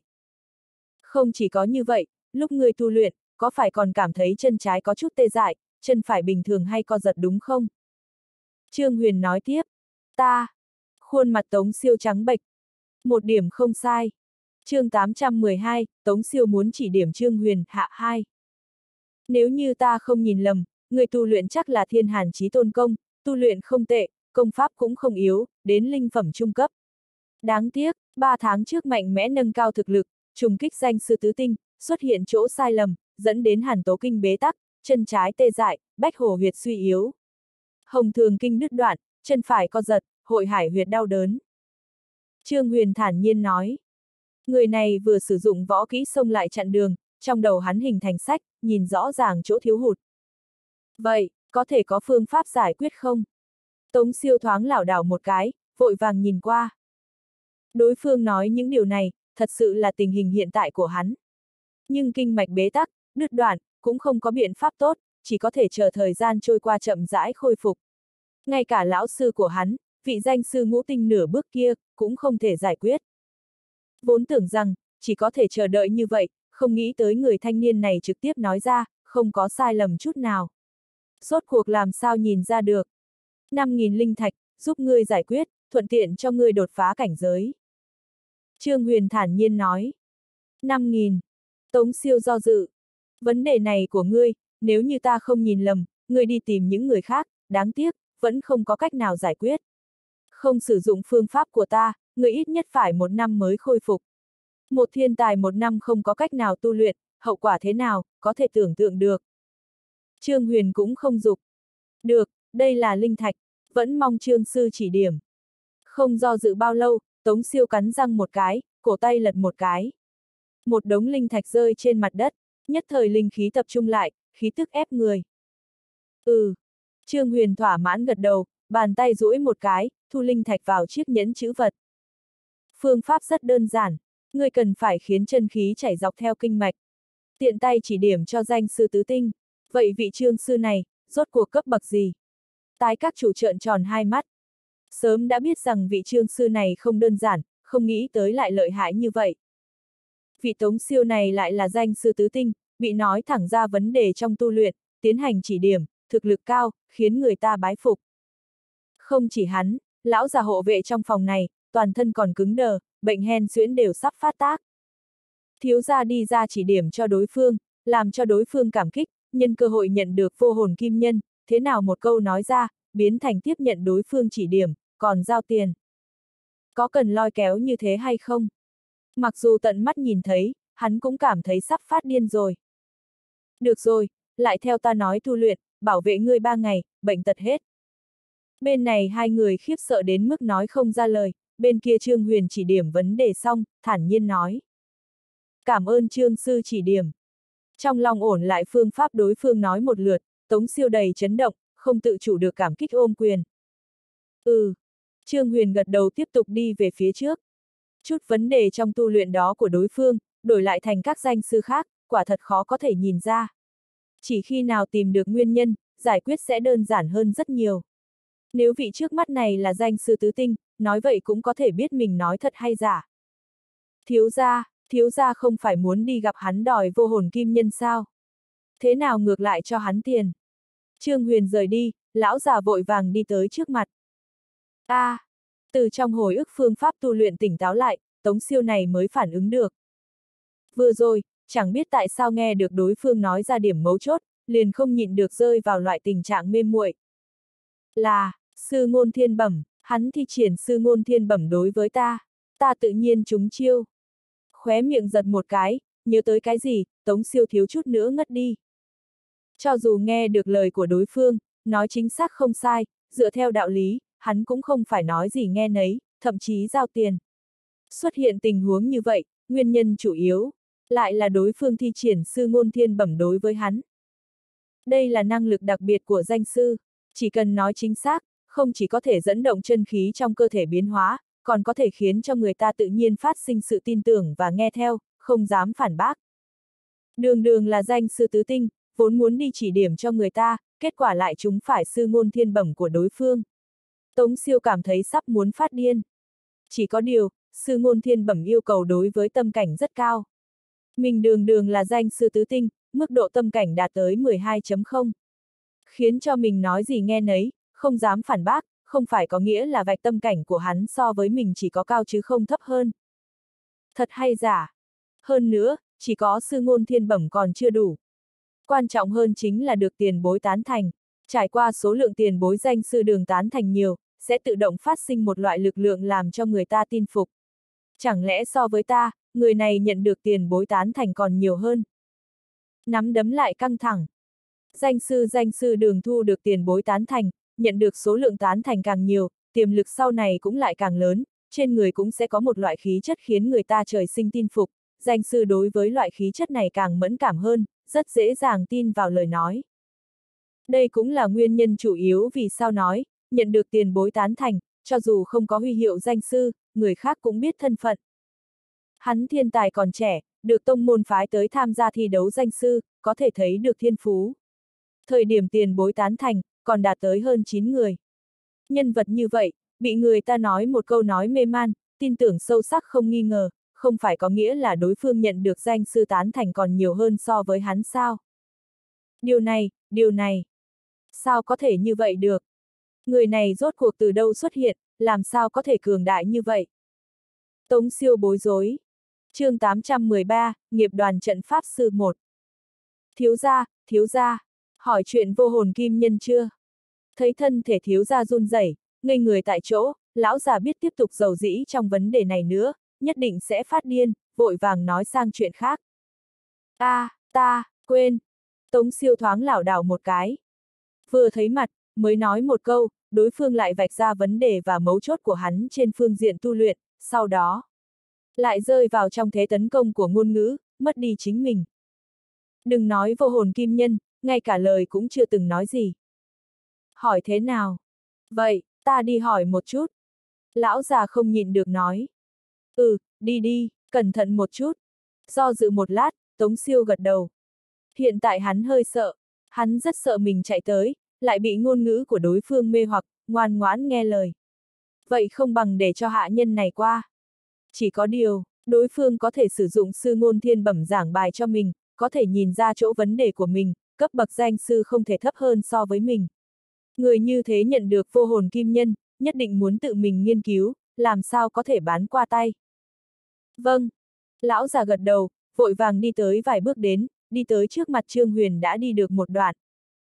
Trương Sư, chúng ta muốn mua vô hồn kim nhân kia. Không biết, người có hứng thú bán ra hay không? Thiếu gia nhà chúng ta nguyện ý ra hai ngọc phù chương trình học của danh sư ngũ tinh nửa bước. Bốn vạn linh thạch. Trương Huyền dừng lại. Cái giá tiền này đã quá cao. Ngọc phú chương trình học của danh sư ngũ tinh nửa bước, thiếu gia của chúng ta tổng cộng cũng chỉ có ba cái. Chờ một chút, người nói cái gì? Vốn tưởng rằng trương sư sẽ trực tiếp từ chối, không nghĩ tới một câu phản bác cũng không có, trực tiếp cho ra giá, lão già sửng sốt. Trương sư nói bốn vạn linh thạch, bán ra. Vù. Hắn còn chưa nói dứt lời, đã thấy trước mắt chợt hoa lên. Một vô hồn kim nhân lại xuất hiện ở trên. Lấy ra linh thạch, kim nhân lấy đi. Không chấp nhận ngọc phù trương trình học. Không được, mời rời đi. Trương Huyền xua tay. Hắn nóng lòng muốn trở lại nghiên cứu công pháp thiên đạo, làm gì có thời gian cùng đối phương dây dưa. Nếu người này muốn vô hồn kim nhân, dù sao thứ này hình thành sách, cơ bản cũng lại không có tác dụng gì. Cùng với giữ ở trong tay đập, còn không bằng bán đi. Đơn giản như vậy sao? Tống siêu ở phía sau, vốn tưởng rằng lão già tiến lên nói thẳng, khẳng định không được. Hắn nằm mơ cũng không nghĩ tới, đơn giản như vậy. Sớm biết rằng người này dự định bán, cần gì phải làm ra vẻ giống như chỉ điểm cho người ta. Cái này thì hay rồi, chỉ điểm không thành, bị chỉ điểm. Mặt mũi đều mất hết. Tống siêu cũng cảm thấy có chút phát điên. Người khác, không quan tâm làm cái gì, làm danh sư, vẫn có thể nhìn ra một ít quy luật. Nhưng người trước mắt này, hoàn toàn không ra bài theo lẽ thường, khiến cho đầu hắn giống như là đánh vào trên tảng đá, từng đợt mê muội. Trương sư, thật sự dự định bán vô hồn kim nhân với bốn vạn linh thạch cho ta sao? Thật sự không nhịn được, hắn đi tới trước mặt. Mua không nổi thì thôi. Thu hồi kim nhân, Trương Huyền sẽ phải rời khỏi. Ta mua. Sắc mặt nhất thời đỏ lên, Tống siêu vội vàng mở miệng. ầm, um. Vừa nói xong, một đống linh thạch xuất hiện ở trước mắt mọi người, không nhiều không ít, vừa vặn bốn vạn. Ừ, kim nhân là của ngươi. Lấy ra linh thạch, tiện tay ném kim nhân ở bên cạnh đối phương, Trương Huyền xoay người rời đi. Cảm ơn Trương Sư. Tiếp nhận vô hồn kim nhân, Tống Siêu rất sợ xảy ra vấn đề, vội vàng thu nó vào chiếc nhẫn chữ vật. Vừa cầm được đồ, hắn đột nhiên sửng sốt một cái, thiếu chút nữa thì đâm đầu chết. Lại chúng chiêu, bốn vạn linh thạch của ta. Rất rõ ràng, lại chúng sư ngôn thiên bẩm, không kìm lòng được giao tiền ra. Mấy năm nay tổng cộng tích góp lại từng tí một như thế, không nghĩ tới, cũng bị đối phương ép khô. Có cần hãm hại như thế hay không? Người này rốt cuộc là một quái vật gì vậy? Chúc mừng thiếu gia, mua được vô hồn kim nhân. Lão già ôm quyền. Lan. Vốn lại phiền muộn, nghe được lời chúc mừng, thiếu chút nữa nổ tung, tống siêu quát to một tiếng. Ách, vâng. Lão già vào đầu, vẻ mặt nghi ngờ. Thiếu ra đây là trách, đầu óc, không xảy ra vấn đề chứ. Không nghĩ tới không phải lúc này đây danh sư tứ tinh biết từ nơi nào xuất hiện, thoáng chút cống hiến bốn vạn linh thạch, Trương Huyền đầy vẻ hưng phấn đi về phòng, cổ tay rung lên. Từng hàng giá sách xuất hiện ở trước mặt. Có nhiều linh thạch như vậy, tu luyện sẽ đơn giản không ít. Cũng nên xem sách, thuận tiện khiến cho tu vi thích hợp nâng cao một chút. Ngón tay hắn xẹt qua ở trên từng hàng sách, trong đầu xuất hiện thêm sách tương đồng. Rất nhanh, công pháp, võ kỹ tái các chủ thu vào, đã bị hắn thu nhận tất cả tiến vào thiên đạo đồ thư quán. Chính xác. Chất đống công pháp hóa phàm nhất trọng tăng thọ cảnh cùng một chỗ, tinh thần hắn thoáng động. Vù.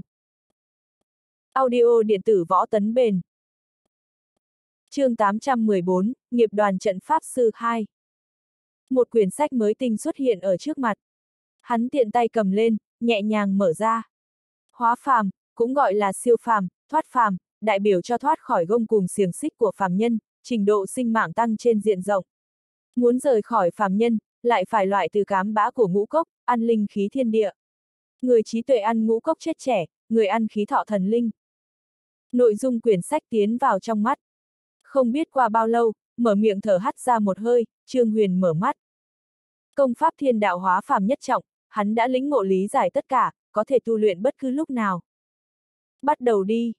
Hắn khoanh chân ngồi ở trên giường, cổ tay lật một cái, linh thạch xuất hiện ở trong lòng bàn tay. Chân khí dựa theo phương hướng công pháp vận chuyển, thong thả chảy xuôi. Răng rắc.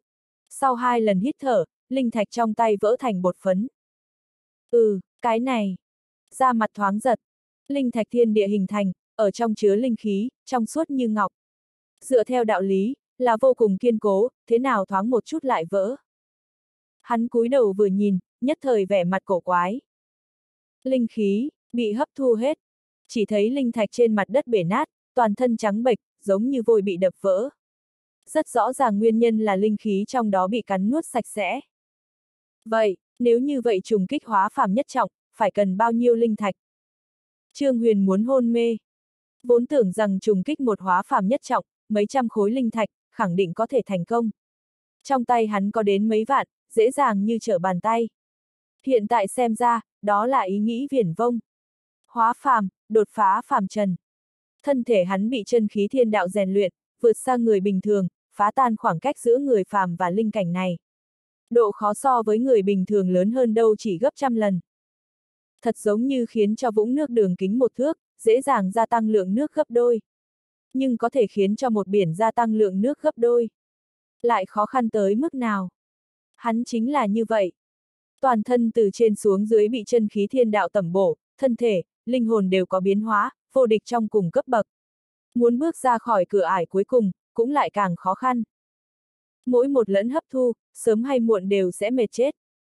Linh thạch chừng mấy vạn khối, dựa theo tình huống bình thường, cho dù đột phá cần phải tiêu hao nhiều hơn nữa, cũng hoàn toàn đủ. Nhưng, trong loại linh thạch hạ phẩm này, ẩn chứa linh khí có hạn. Lực lượng hắn cần lại cực lớn.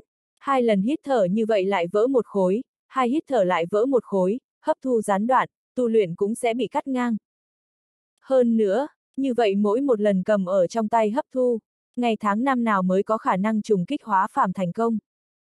Thật giống như sử dụng ống uống nước truyền dịch, cho dù nước trong bình treo đủ uống, từng giọt xuống, cũng nhất định sẽ khiến người ta chết khát. Nói cách khác, phải nghĩ biện pháp khiến cho linh khí của linh thạch, nhanh chóng phát ra, mới có thể phối hợp tu luyện của hắn. Trận pháp. Lông mày hắn nhíu lại một cái, một chức nghiệp xuất hiện ở trong đầu. Mỗi một linh thạch cầm ở trong tay tu luyện, khẳng định không được. Nếu như muốn nhanh hơn gấp mấy trăm lần, mấy nghìn khối linh thạch đồng thời cung cấp linh khí, chỉ có một biện pháp. Đó chính là, sử dụng trận pháp. Trước đây hủy diệt lâm gia, học qua không ít sách liên quan tới trận pháp, biết một ít tụ linh trận lợi hại, có thể tách linh khí trong linh thạch ra, hội tụ thành dòng nước lũ. Nếu có loại trận pháp này, để linh thạch vào trong đó, tự động lấy ra linh lực trong đó, tu luyện, sẽ đơn giản hơn không ít. Tìm trận pháp trước. Hắn đứng dậy.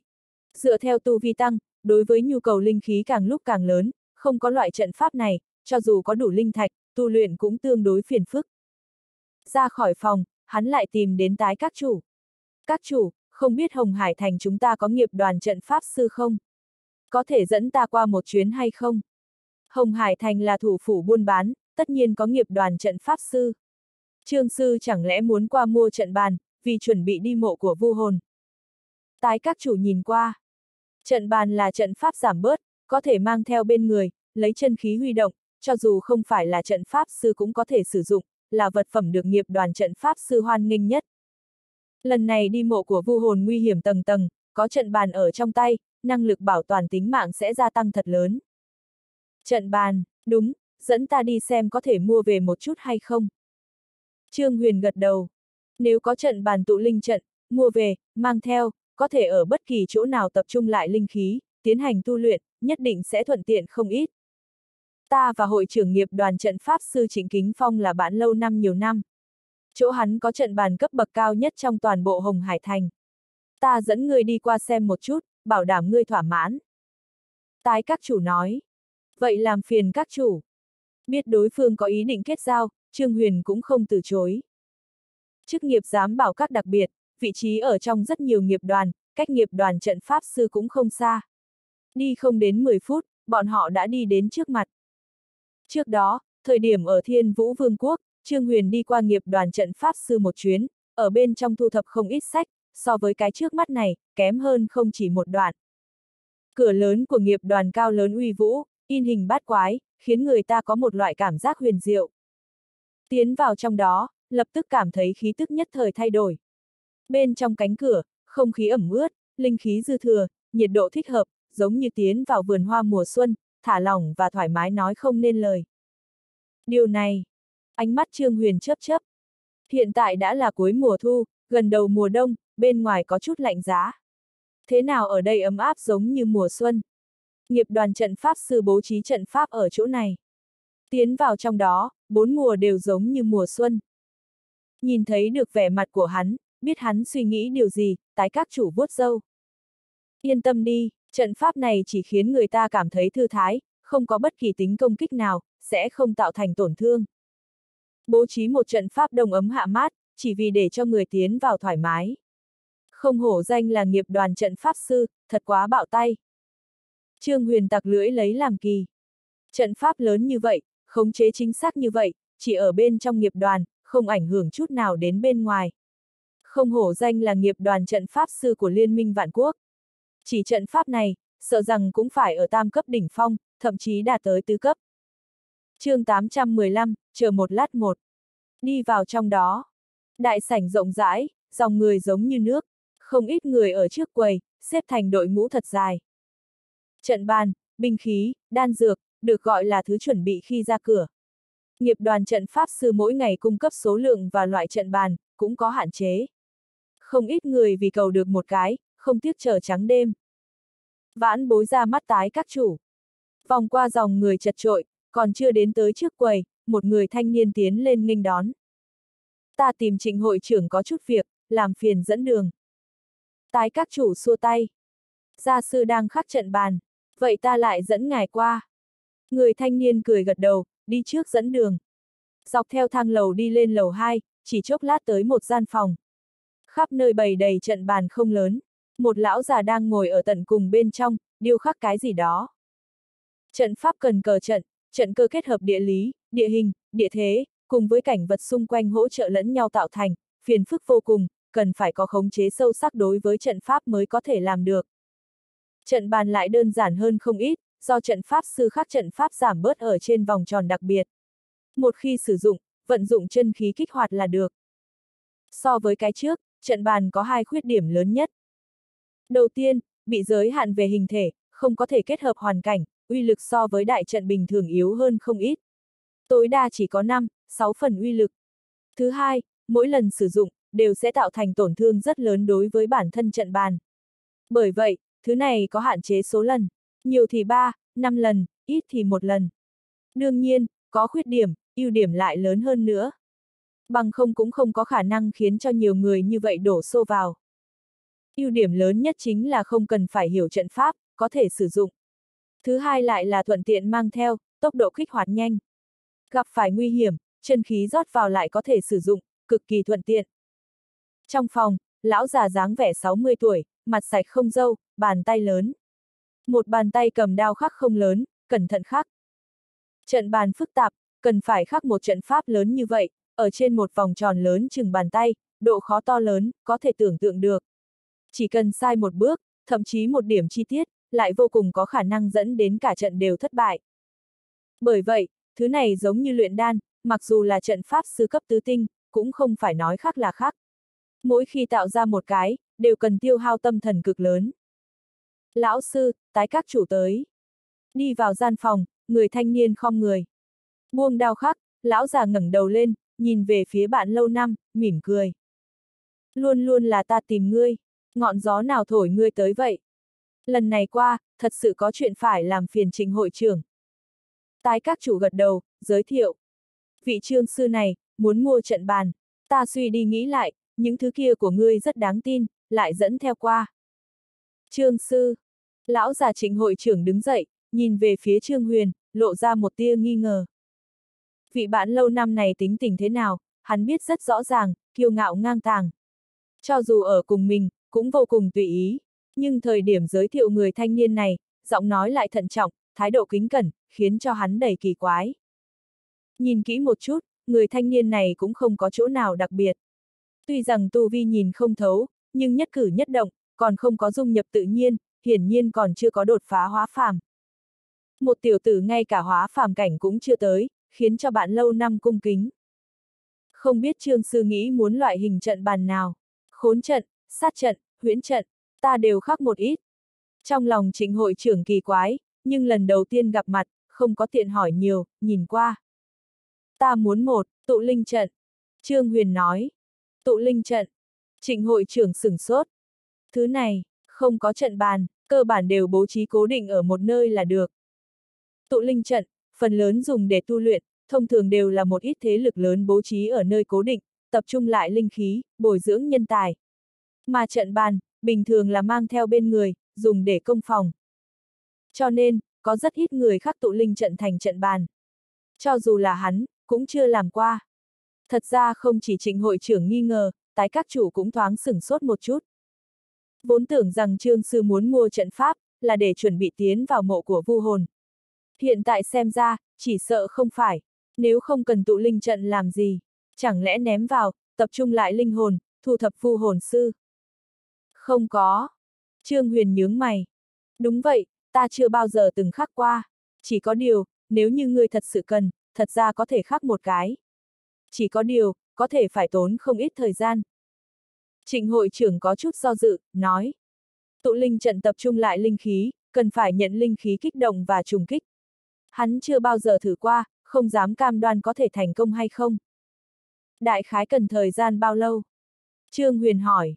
Cái này, ta chưa bao giờ khắc qua, cần một ít thời gian nắm giữ, chậm thì một tháng, nhanh thì, nửa tháng. Trịnh hội trưởng nói. Nửa tháng. Trương Huyền lắc đầu. Quá lâu. Đã hẹn cùng với Lạc Trúc ngày mai lại xuất phát đi mộ của vu hồn.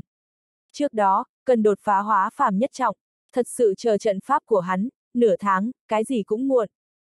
Thế nào, người nói này là không tin vào năng lực của lão phu sao? Thấy hắn lắc đầu, sắc mặt trịnh hội trưởng trầm xuống. Tới mua trận bàn, tụ linh trận, người đối với trận pháp có hiểu hay không?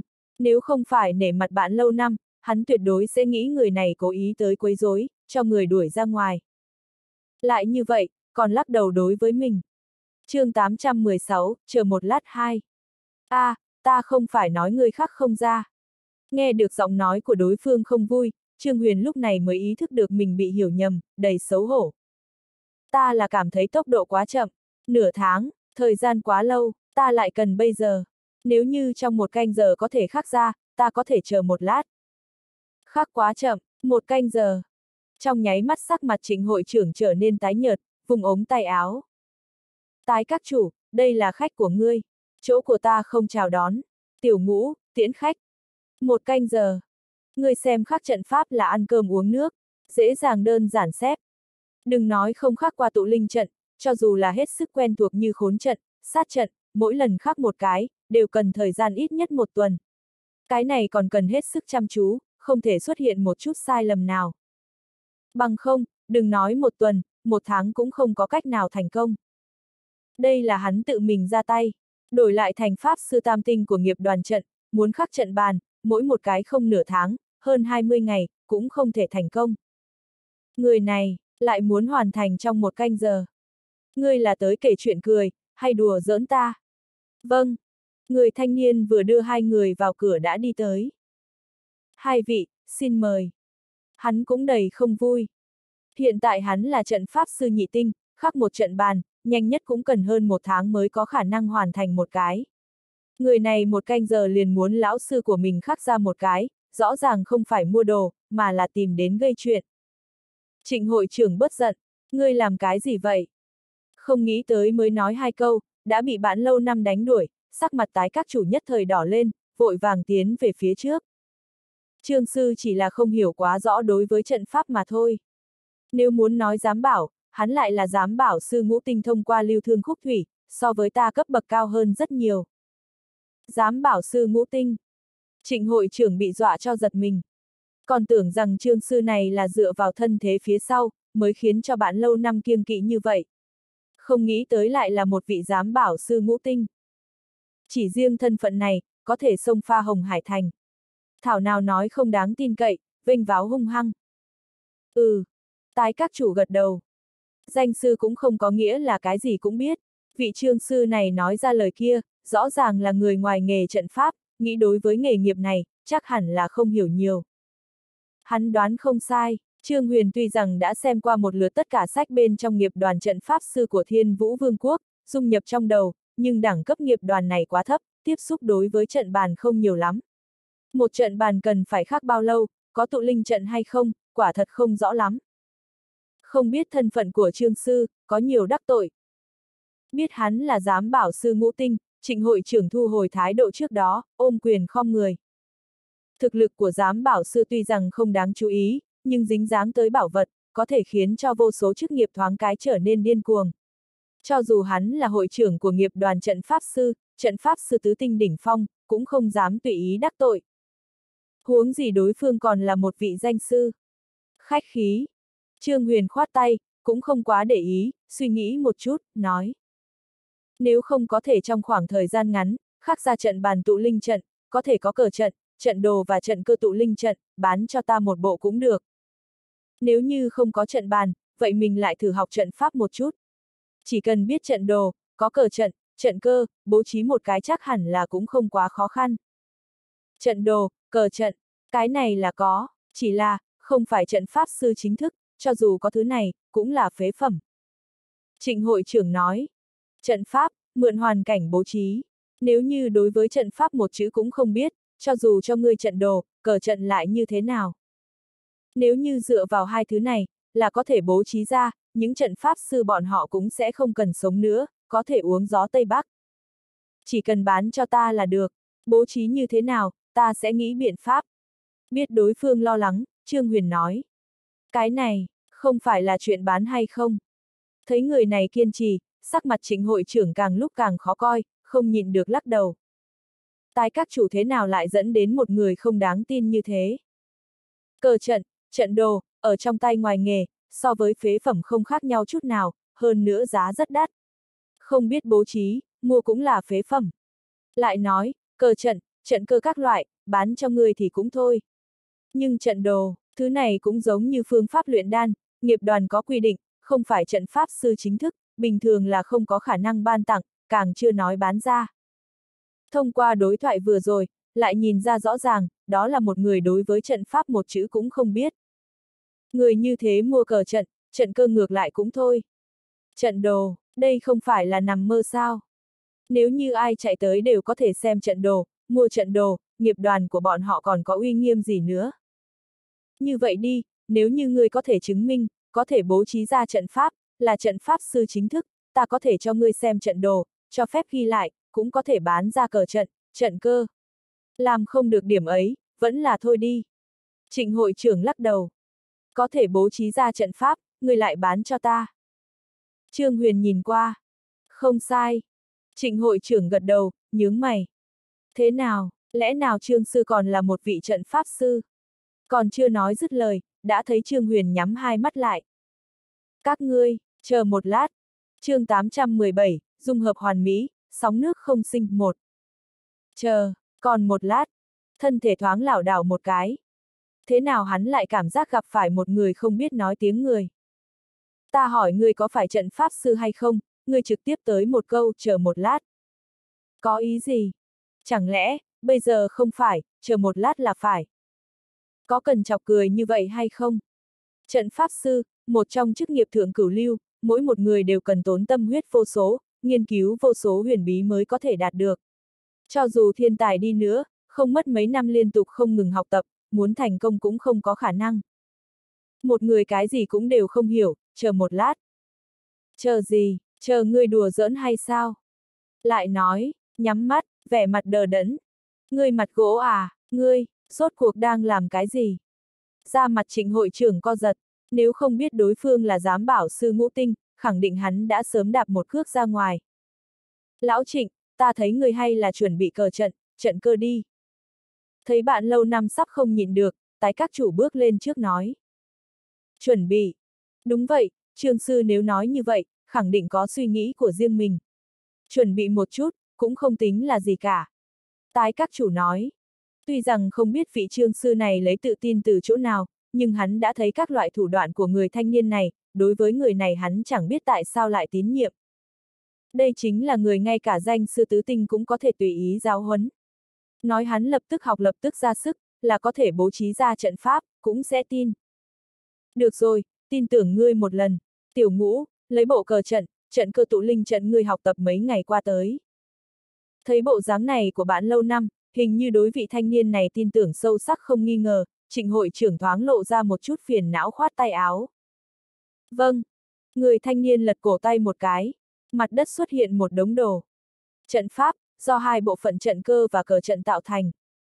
Hai thứ này đều từ chất liệu đặc biệt chế luyện ra, nhằm vào trận pháp khác nhau, chia ra làm thuộc tính khác nhau. Người thanh niên này là trận pháp sư nhị tinh, gần đây vẫn luôn học tập bố trí tụ linh trận nhị tinh. Cờ trận các loại, vừa vặn có một bộ. Mang đồ tới, mọi người nhìn về phía người cách đó không xa. Chỉ thấy mắt hắn vẫn nhắm như cũ, không mở ra, không biết đang làm gì. Chẳng lẽ, trương sư dự định hiện tại học trận pháp, có thể coi là hiện tại học, cũng có thể cần xem sách, tìm lão sư, đứng ngơ ngác tại chỗ, có ý gì? Trong lòng tái các chủ cũng có chút nghi hoặc. Học tập trận pháp, dính dáng tới vô số huyền bí. Đầu tiên phải bái một lão sư lợi hại, sau đó từ cơ sở nhất như địa hình, hình dạng, ngũ hành, âm dương tương sinh tương khắc, học lên. Giống như hắn đứng tại chỗ nhắm mắt lại, vẻ mặt ngây ngô như vậy, vẫn chưa từng thấy qua. Mà nếu quả thật không phải học tập, lại đang làm gì? Vẻ mặt mọi người không giải thích được. Lúc này, trên thực tế Trương Huyền đang giống như bọn họ suy đoán, đang học tập trận pháp. Trước đó, tuy rằng thu thập không ít sách liên quan tới trận pháp sư, nhưng nghề nghiệp này hắn chưa từng cố gắng học tập, chỉnh lý qua. Tinh thần hắn chìm đắm ở thiên đạo đồ thư quán, đi tới trước mặt sách liên quan tới trận pháp. Chính xác.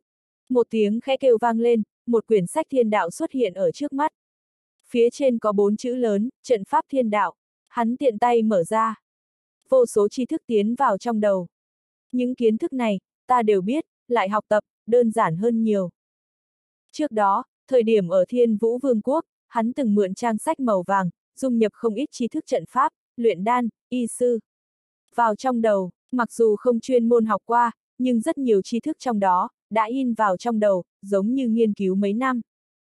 Có loại chỗ dựa này, lúc này lại học tập trận pháp thiên đạo, vô cùng đơn giản.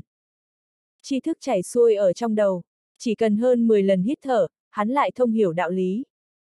Nếu như đổi lại thành chưa học qua chức nghiệp, sợ rằng ít nhất phải một canh giờ mới có khả năng học được. Mà bây giờ, tri thức lại ở trong trí nhớ, từ lâu đã trồng chất. Chỉ cần sắp xếp trình tự một lần nữa là được, không biết đơn giản gấp bao nhiêu lần. Bù! Trương Huyền mở mắt, nhìn về phía mọi người. Cờ trận đã cầm tới. Ở chỗ này bày trận sao? Khụ khụ! Đang muốn xem đối phương có dự định gì, chỉ thấy hắn mở mắt nói vậy, trịnh hội trưởng bị nước bọt sặc một cái. Vừa rồi đối với khắc trận mâm hoàn toàn không biết chút nào. Nhắm mắt một hồi, lại muốn bày trận. Được rồi, ta thật ra muốn xem thử, người có thể bố trí ra thứ gì. Nếu ngươi cảm thấy có thể, lại bố trí ở chỗ này. Ép lửa giận trong lòng xuống, hắn vung tay áo một cái, sắc mặt tái xanh khẽ nói. Được. Trương Huyền gật đầu, đi về phía cờ trận trận cơ trên mặt đất. Nhìn thấy được động tác của hắn, không chỉ trịnh hội trưởng, ngay cả tiểu ngũ kia, chán cũng đầy vạch đen. Bày trận, đầu tiên phải cẩn thận quan sát hoàn cảnh, đo đạc phương vị tốt, vì thế sinh lực, hội tụ khí cho trận pháp. Người này cái gì cũng không nhìn, thậm chí ngay cả la bàn chưa từng lấy ra, lao thẳng đến cờ trận, giống như kẻ ăn hàng thấy một đống thịt béo. Cái này cũng gọi là bày trận sao? Giờ trò đùa gì vậy? Như vậy cũng có thể bày trận, ta cũng có thể lên trời. Tái các chủ, ngươi, rốt cuộc dẫn tới đây người nào vậy? Hừ một tiếng, trịnh hội trưởng truyền âm chương 818, dung hợp hoàn mỹ, sóng nước không sinh, hai. Trương sư, vẫn rất lợi hại. Sắc mặt tái các chủ ửng đỏ. Hắn và vị trương sư này tiếp xúc, cũng chỉ có mấy ngày. Thời điểm ở nhất phẩm các mua đồ mới quen, xông vào lưu thương khúc thủy, thiếu chút nữa hủy đi dám bảo các. Thậm chí ngay cả vu hồn phụ thể cũng có thể giải quyết. Dựa theo đạo lý, loại người đại tài này, không nên làm chuyện không có nắm chắc. Nhưng hiện tại hắn thấy, thế nào cũng có chút không mấy đáng tin. Trận pháp sư bày trận, hắn đã nhìn thấy nhiều lần, chia ra làm ba bước. Đầu tiên, lấy ra la bàn, tra xét tình hình từ trường xung quanh, linh khí tập trung lại.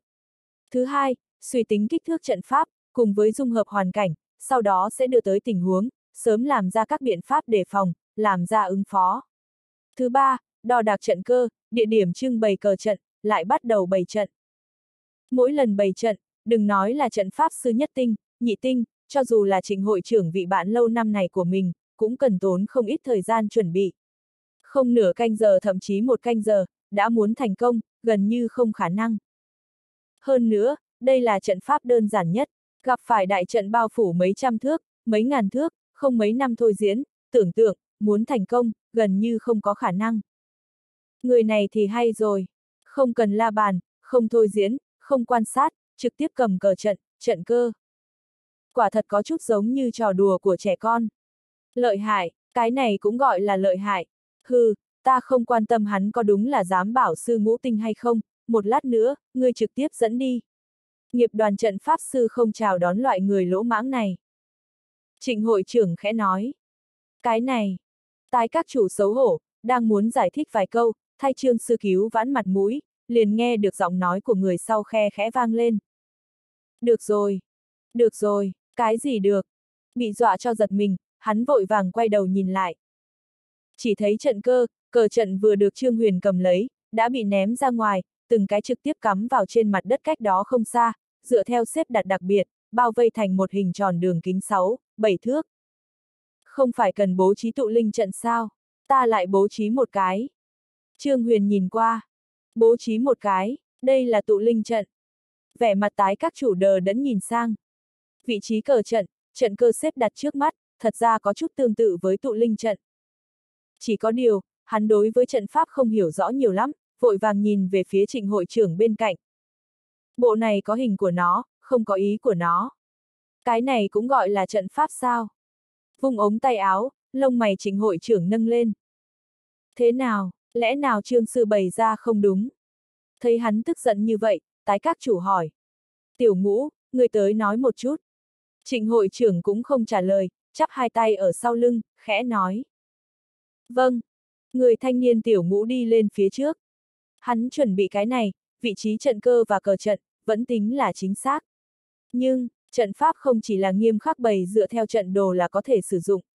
Quan trọng hơn chính là, dẫn động linh khí biến hóa.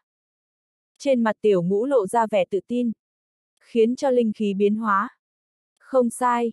Cổ tay lật một cái, trong tay tiểu ngũ xuất hiện thêm một cái la bàn. Thứ này ở trong tay, khí thế toàn thân hắn lập tức thay đổi. Trước đó thoạt nhìn chỉ là một gã sai vặt tùy tùng, mà bây giờ giống như là một trận pháp sư thật sự. Người xem hắn bố trí cái này, xung quanh linh khí không có biến hóa chút nào. Cũng là nói, cờ trận căn bản không có cắm ở trên vị trí chính xác nhất, không dung hợp hoàn cảnh, tự nhiên cũng không có uy lực. Cũng chính là cái gọi là phế trận. Phế trận. Ừ, nếu là tụ linh trận, tự nhiên phải tập trung lại linh khí. Một khi tạo thành, thật giống như dòng nước trong vòng xoáy. Linh khí bốn phía, không ngừng tập hợp về phía chính giữa. Mà cái này, linh khí sau đó căn bản không có ý tập trung lại. Cũng đã nói, hắn chỉ là bày ra đúng trận đồ, cũng không phải tạo thành trận pháp. Tiểu ngũ nói, bày ra trận đồ, không phải tạo thành trận pháp, nghe rất huyền diệu. Trên thực tế, chỉ cần là trận pháp sư, cho dù là học đồ, đều biết điểm ấy. Thật giống như luyện đan sư luyện đan, biết trình tự của mỗi gốc cây dược liệu, chưa chắc có thể chế luyện ra đan dược đạt tiêu chuẩn. Trận đồ chỉ là sắp xếp cố định, thật sự muốn trận pháp có tác dụng, còn cần kết hợp hoàn cảnh. Nói không sai, được, trương sư, ta xem như nể mặt tái các chủ, không tính toán với sự càn quấy của ngươi, trở về đi. Thấy một học sinh của chính hắn phân tích đạo lý rõ ràng, biết người này gần đây tiến bước không nhỏ, trịnh hội trưởng thỏa mãn gật đầu. Càn quấy, ta càn quấy thế nào? Không nghĩ tới khổ cực bố trí xong trận pháp, ở trong mắt đối phương biến thành càn quấy, Trương Huyền sửng sốt. Trận pháp này của ngươi, không dẫn động linh khí, không có bất cứ tác dụng gì, không phải càn quấy là cái gì. Thấy hắn lại còn không thừa nhận, trịnh hội trưởng càng mất hứng a à, ngươi nói cái này, là ta vừa rồi chỉ sợ các ngươi không nhìn thấy rõ, tạm thời dừng trận pháp. Còn tưởng rằng đối phương có ý gì, Trương Huyền lắc đầu, bàn chân dẫm trên mặt đất một cái. Ong! Một gợn sóng từ dưới chân lan tràn ra, trực tiếp đánh vào trên trận pháp cách đó không xa. Một tiếng nổ lớn vang lên, trận pháp trước mắt lập tức bị linh khí bao phủ. Vù vù vù. Linh lực xung quanh lập tức giống như gió lốc tập trung lại về phía chính giữa, thổi tới trên mặt, đau đớn giống như bị đau cắt. Cái này, cái này. Mới vừa rồi còn dương dương đắc ý, nói có nề nếp, đánh giá rất có đạo lý, tiểu ngũ thoáng một cái, đứng ở tại chỗ, khiếp sợ đến mức đầu lưới cũng sắp phải phun ra. Đây là, dung hợp hoàn mỹ, sóng nước không sinh, một khi kích hoạt lại có thể long trời lở đất. Trận pháp không tì vết, điều này, sao có thể như vậy được? Trịnh hội trưởng thét một tiếng chói tai, âm thanh cũng có chút khàn khàn. Hắn giống như hổ đói rình mồi, nhìn chằm chằm vào Trương Huyền cách đó không xa, giống như là thấy được một quái vật. chương 819, sông Trận Hải 1. Trận pháp không tì vết. Thấy bạn lâu năm thất thố như vậy, tái các chủ hoàn toàn không giải thích được. Hắn từng nghe nói về rất nhiều trận pháp khốn trận, huyễn trận, mê trận, sát trận, tụ linh trận, vẫn chưa từng nghe qua cái gì trận pháp không tì vết. Bố trí trận pháp, giống như thi họa, đan dược, cũng có phân chia ý cảnh. Cùng một trận pháp, trận pháp sư ngũ tinh và trận pháp sư nhị tinh bố trí ra, uy lực làm sao có thể tương đồng. Đè nén khiếp sợ trong lòng, trịnh hội trưởng nói. Tái các chủ sửng sốt. Trận bàn cùng cấp bậc, người người đều muốn mua của trận pháp sư cấp bậc cao hơn khác ra. Thứ nhất vững chắc, thứ hai uy lực lớn hơn nữa. Cùng một loại đan dược, luyện đan sư cấp bậc cao, chế luyện ra, thành đan tốt hơn, thậm chí còn gặp được đan văn, dược hiệu cao hơn. Nếu những chức nghiệp khác có nhiều phân loại như vậy, trận pháp khẳng định cũng có. Cùng loại trận pháp, trận pháp sư cấp bậc cao, uy lực bố trí cũng sẽ càng cường đại hơn. Cùng một trận pháp, bố trí đi ra uy lực cường đại hay không, phải xem phù hợp cùng hoàn cảnh, có thể mượn lực lượng của hoàn cảnh hay không. Thấy hắn không biết rõ, trịnh hội trưởng giải thích. Cùng hoàn cảnh dung hợp 20%, được gọi là nhập môn. Lúc này bố trí ra trận pháp, có thể thành công kích hoạt, phát sinh uy lực. Chỉ có làm được điểm ấy, mới có thể làm cho trận pháp bố trí ra, đưa đến tác dụng, trở thành trận pháp sư chính thức. Dung hợp 40%, có thể mượn một phần lực lượng hoàn cảnh, vì gia tăng trận pháp hoàn thành, đối với lĩnh ngộ trận pháp, cũng đạt tới cảnh giới trung cấp. Thật giống như hiện tại ta, thân là trận pháp sư tứ tinh, bố trí trận pháp nhị cấp, có thể đơn giản đạt được cấp bậc này. Dung hợp 60%, hoàn cảnh và trận pháp đã có thể hỗ trợ lẫn nhau, cũng chính là cảnh giới cao cấp trong miệng chúng ta. Ta hiện tại G bố trí trận pháp nhất cấp, mới thỉnh thoảng có thể xuất hiện loại tình huống này. Dung hợp 80%, cơ bản chẳng khác nào trận pháp khống chế hoàn cảnh. Loại trận pháp này, có thể mượn lực lượng tự nhiên của thiên địa, và giống như khí linh có đầy đủ linh trí, thậm chí hình thành bão táp, mưa xối xả, khiến cho sinh mạng bị giam ở trong đó, khó có thể phá vỡ, khổ không thể tả. Nói đến đây, môi trịnh hội trưởng trắng bệch. Người có thể phá vỡ trận pháp, nhưng có thể phá ra hoàn cảnh sao? Tái các chủ ngẩn người. Người có thể đi ra khỏi trận pháp, có thể ra khỏi phòng, có thể đi ra khỏi sân, nhưng mọi chỗ đều là hoàn cảnh, đi ra như thế nào? Phá ra như thế nào? Lĩnh ngộ được loại ý cảnh này, cho dù trận pháp cao cấp tới đâu, chỉ sợ cho dù trận pháp sư bị nhốt ở trong đó, cũng rất khó phá giải. Không đúng. Nghĩ đến cái gì, thân thể tái các chủ run lên bần bật, trợn tròn mắt, không thể tin được nhìn qua. Đây chỉ là dung hợp 80%, vậy dung hợp trăm phần trăm thì sao? Không sai, chính là loại trận pháp không tì vết này. Giọng nói của trịnh hội trưởng run rẩy. Dung hợp hoàn mỹ với hoàn cảnh, thời điểm không khởi động, sẽ không tạo thành hoàn cảnh hoàn toàn biến hóa, sóng nước không sinh. Chỉ khi nào vận chuyển, hoàn cảnh sẽ hoàn toàn bị ảnh hưởng, hoàn toàn dung hợp, tuy hai mà một. Hoàn cảnh vừa là trận pháp, trận pháp cũng là hoàn cảnh. Thử nghĩ một chút, tu luyện ở trong trận pháp tập trung lại linh khí, làm sao có thể càng nhanh chóng hơn so với tu luyện ở trong hoàn cảnh tự nhiên. Thật giống như phòng điều hòa, nhiệt độ lại thích hợp, nhưng làm sao so sánh với được với bốn mùa như mùa xuân. Loại trận pháp này, lấy cờ trận điều động hoàn cảnh, theo truyền thuyết, chỉ có trận pháp sư đã ngoài lục tinh mới có thể làm được. Nói đến đây, bản thân trịnh hội trưởng cũng không thể tin được. Người trước mắt này, ngay cả chuyện có trận bàn tụ linh trận hay không, cũng không biết được rõ ràng, lại một lần bố trí ra dung hợp hoàn mỹ chỉ có trận pháp sư đạt được lục tinh, mới có thể làm được. Là hắn điên rồi, hay là ta điên rồi? Trong lịch sử nghiệp đoàn cũng chưa bao giờ có loại tình huống này. Đang đầy nghi ngờ, hắn liền nghe được giọng nói của người thanh niên đối diện vang lên. Hiện tại có thể bán cho ta cờ trận và trận đồ của tụ linh trận không? Trương Huyền vừa bố trí, chỉ là tụ linh trận đơn giản nhất, không thể hấp thụ linh khí trong linh thạch. Muốn lợi dụng linh thạch, tốc độ tu luyện nhanh hơn, ít nhất phải đạt được tứ cấp. Có thể. Thân thể cứng đờ, trịnh hội trưởng gật đầu. Người có thể bố trí ra trận pháp hoàn mỹ không tì vết, nếu ngay cả tư cách mua cờ trận cũng không có, hắn chẳng phải càng không có tư cách sao. Không biết trương sư, là trận pháp sư mấy sao, có thể cho biết hay không? Sau khi đáp ứng, hắn không nhịn được hỏi.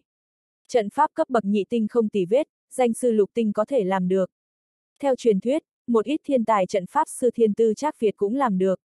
Vị trước mắt này, thực lực chưa đủ hóa phàm, rất rõ ràng, cấp bậc sẽ không quá cao. Hắn muốn biết rốt cuộc là đẳng cấp gì, cũng tiện ứng xử chính xác. Trận pháp sư, ta chưa tham gia sát hạch, còn không phải. Trương Huyền lắc đầu. Hắn chỉ mới vừa học được trận pháp, trước đó một chữ cũng không biết, tất nhiên cũng sẽ chưa từng sát hạch. Còn không phải là trận pháp sư. Khóe miệng giật một cái, thân thể trịnh hội trưởng thoáng lảo đảo một cái. Bày trận tốc độ nhanh như vậy, hơn nữa ý cảnh cao như thế, thậm chí ngay cả trận pháp sư chính thức cũng chưa từng thi, rốt cuộc từ nơi nào xuất hiện. Hắn là trận pháp sư tứ tinh đỉnh phong, nhưng bàn về tốc độ, thua xa đối phương. Càng chưa nói tới bố trí ra trận pháp hoàn mỹ không tỉ vết. Không biết trương sư có thể ở nghiệp đoàn chúng ta tham gia sát hạch hay không? Nghĩ đến cái gì, ánh mắt trịnh hội trưởng nhất thời sáng lên, mang theo khát vọng. Phía dưới tổng bộ nghiệp đoàn trận pháp có vô số phân bộ. Chỉ cần hắn ở đây sát hạch, cho dù là thiên tài Hồng Hải Thành, truyền tới tổng bộ, tất nhiên nhận được phần thưởng cực lớn. Có thể. Trương Huyền gật đầu. Ở nơi nào sát hạch, không quan trọng. Dù sao muốn sát hạch danh sư cấp bậc cao hơn, cũng cần chức nghiệp trợ giúp.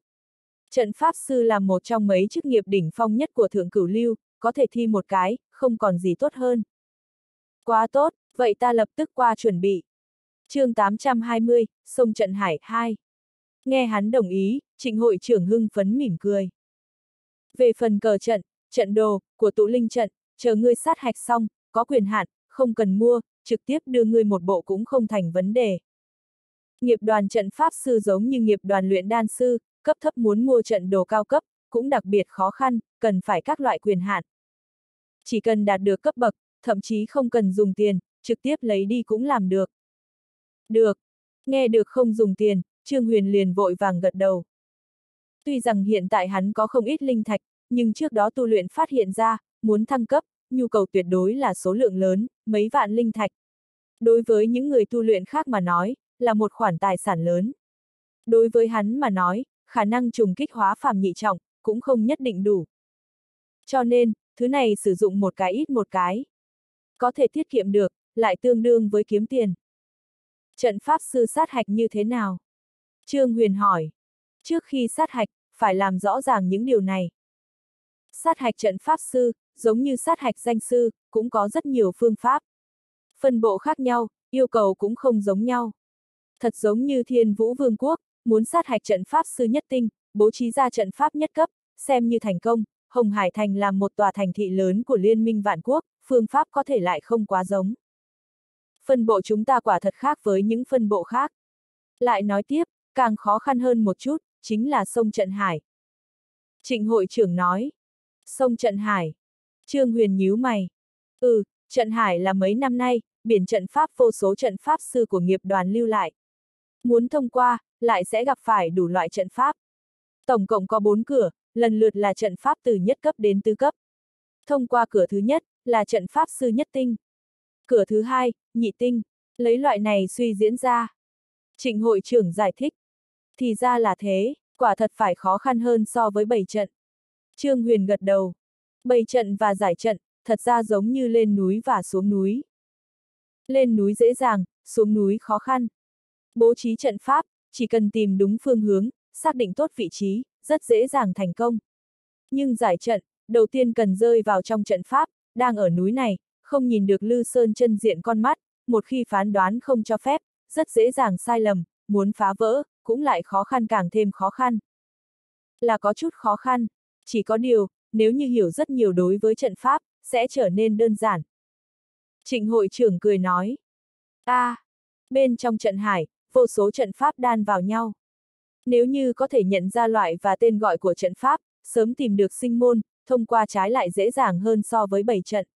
Chỉ có điều, bất kể bảy trận hay sông trận hải, đều phải lý giải sâu sắc đối với trận pháp cấp bậc này mới được. Nếu không, muốn thông qua, cũng không quá đơn giản. Giải thích một câu, trịnh hội trưởng nhìn về phía người thanh niên trước mắt. Nếu như trương sư chưa bao giờ sát hạch qua, có thể bắt đầu từ trận pháp nhất cấp. Chờ thích ứng, lại đi sát hạch cấp bậc cao hơn, sẽ tích lũy không ít kinh nghiệm, để tránh luống cuống tay chân. Trương Huyền gật đầu, có chút do dự. Chỉ có điều, trước đó, ta muốn đi tàng thư khố xem. Hiện tại trận pháp trong đầu hắn thu thập, cao nhất chỉ có nhị cấp. Muốn đạt được càng cao hơn, còn phải xem càng nhiều sách mới được. Đọc sách, cũng được, tiểu ngũ, người dẫn trương sư đi tàng thư khố. Trận hải đã lâu không có ai xông tới tứ cấp, cũng phải một khoảng thời gian chuẩn bị trước một chút. Trịnh hội trưởng cười nói. Đối với đọc sách, hắn không nghĩ nhiều. Trận pháp sư muốn quan sát loại sách trận pháp, nâng cao kiến thức của mình, cũng rất thường gặp. Hắn cũng thường đi tàng thư khố lật xem điển tịch, kiểm tra bố trí của một ít trận pháp đặc biệt, mở rộng phạm vi tầm nhìn của mình, nâng cao kiến thức. Vâng. Người thanh niên tiểu ngũ gật đầu. Trương sư. Thấy hắn ở dưới sự dẫn đường của người thanh niên rời đi, tái các chủ đứng tại chỗ, trợn tròn hai mắt. Không phải tới mua trận bàn sao? Mua thế nào, lại biến thành sát hạch trận pháp sư? Một trong những nghề rất sát đầu của chức nghiệp trên cửu lưu trong toàn bộ đại lục, nói sát hạch liền sát hạch, lúc trước không có bất kỳ báo hiệu nào. Giống với trước đó, khi xông qua lưu thương khúc thủy. Lão Trịnh, người nói trương sư có thể sát hạch được trận pháp sư mấy sao? Hắn không nhìn được nhìn về phía trịnh hội trưởng ở bên cạnh. Có thể sát hạch mấy sao ta cũng không biết, chỉ có điều, có thể dễ dàng bố trí ra tụ linh trận nhị tinh như vậy, hơn nữa còn đạt tới cảnh giới không tì vết, lĩnh ngộ đối với trận pháp, so với ta chỉ mạnh hơn chứ không kém. Nói cách khác, tệ nhất cũng phải là tứ tinh đỉnh phong, thậm chí ngũ tinh. Khuôn mặt trịnh hội trưởng ngưng trọng nói. Tứ tinh đỉnh phong, ngũ tinh, tái các chủ chắt lưỡi. Thời gian vừa mới quen, cảm thấy vị trương sư này, dám bảo rất lợi hại, lại đủ nghịch thiên. Không nghĩ tới đối với trận pháp cũng biết nhiều như vậy. Thậm chí so với bạn lâu năm cũng không kém chút nào. Trẻ tuổi như vậy lại có loại kiến thức và năng lực này, rốt cuộc học thế nào? Đúng vậy, chỉ có điều trận hải cũng không phải dễ dàng xông qua như vậy. Không có kinh nghiệm muốn thông qua rất khó, chỉ hy vọng có thể xông qua thêm mấy cửa ải, khiến cho phân bộ chúng ta cũng xuất hiện một vị thiên tài. Trịnh hội trưởng gật đầu. Xông qua thêm mấy cửa ải. Tái các chủ lên tiếng, khóe miệng giật một cái, đột ngột xuất hiện một ý nghĩ. Người này nếu quả thật bắt đầu xông qua, sẽ không giống như dám bảo các, cũng muốn chuẩn bị làm cho toàn bộ nghiệp đoàn trận pháp sư, gà bay chó sủa. chương 821, huyễn trận đáng sợ một. Sách của nghiệp đoàn trận pháp sư, không nhiều giống như dám bảo các vậy. Hơn nữa còn có ngoài 7 phần sách, đều là dưới trận pháp sư nhị tinh, hắn đã từng hoàn toàn lĩnh ngộ, nhìn cũng không nhìn. Bởi vậy, thu thập lên vô cùng đơn giản, chỉ tốn khoảng một canh giờ, lại in toàn bộ vào trong đầu. Có đầy đủ sách, lại hình thành trận pháp thiên đạo tầng thứ ba và tầng thứ tư. Lại một lúc lâu sau, hoàn toàn học xong, Trương Huyền dụi chân mày thoáng lộ ra một chút mệt mỏi dã rời, thở hắt ra một hơi. Nhanh chóng thu nhận sử dụng nhiều sách như vậy, lại liên tục học hai tầng trận pháp thiên đạo. Cho dù đạt được nửa bước hóa phàm, hắn cũng cảm thấy đầu có chút choáng váng, sắc mặt tái nhợt. Chỉ có điều, cho dù khổ cực cũng đáng giá. Một đường trận pháp, trên lượng tri thức có khả năng kém hơn so với trịnh hội trưởng trước đó. Nhưng muốn nói tới bảy trận, người sau khẳng định còn xa mới là đối thủ. Quan trọng hơn chính là, hóa ra đây chính là khắc trận bàn, tụ linh trận quả thật không quá dễ dàng. Lúc này, hắn cũng có lý giải sâu hơn đối với trận bàn, biết vì sao bảo trịnh hội trưởng hoàn thành trong một canh giờ, người này tức giận như vậy. Trận bàn là khác một đại trận ở nơi có kích thước lớn chừng bàn tay, còn phải dung hợp hoàn cảnh, độ khó có thể tưởng tượng được. Nhất là tụ linh trận, tập trung lại linh khí, đề phòng trùng kích, so với các trận pháp khác càng khó khăn hơn. Đối phương nói nửa tháng, thật sự là tốc độ nhanh nhất. Chỉ có điều, sử dụng phương pháp bình thường khắc trận bàn, quả thật rất khó. Nếu như sử dụng phương pháp miêu tả trong trận pháp thiên đạo đi làm, lại sẽ đơn giản không ít.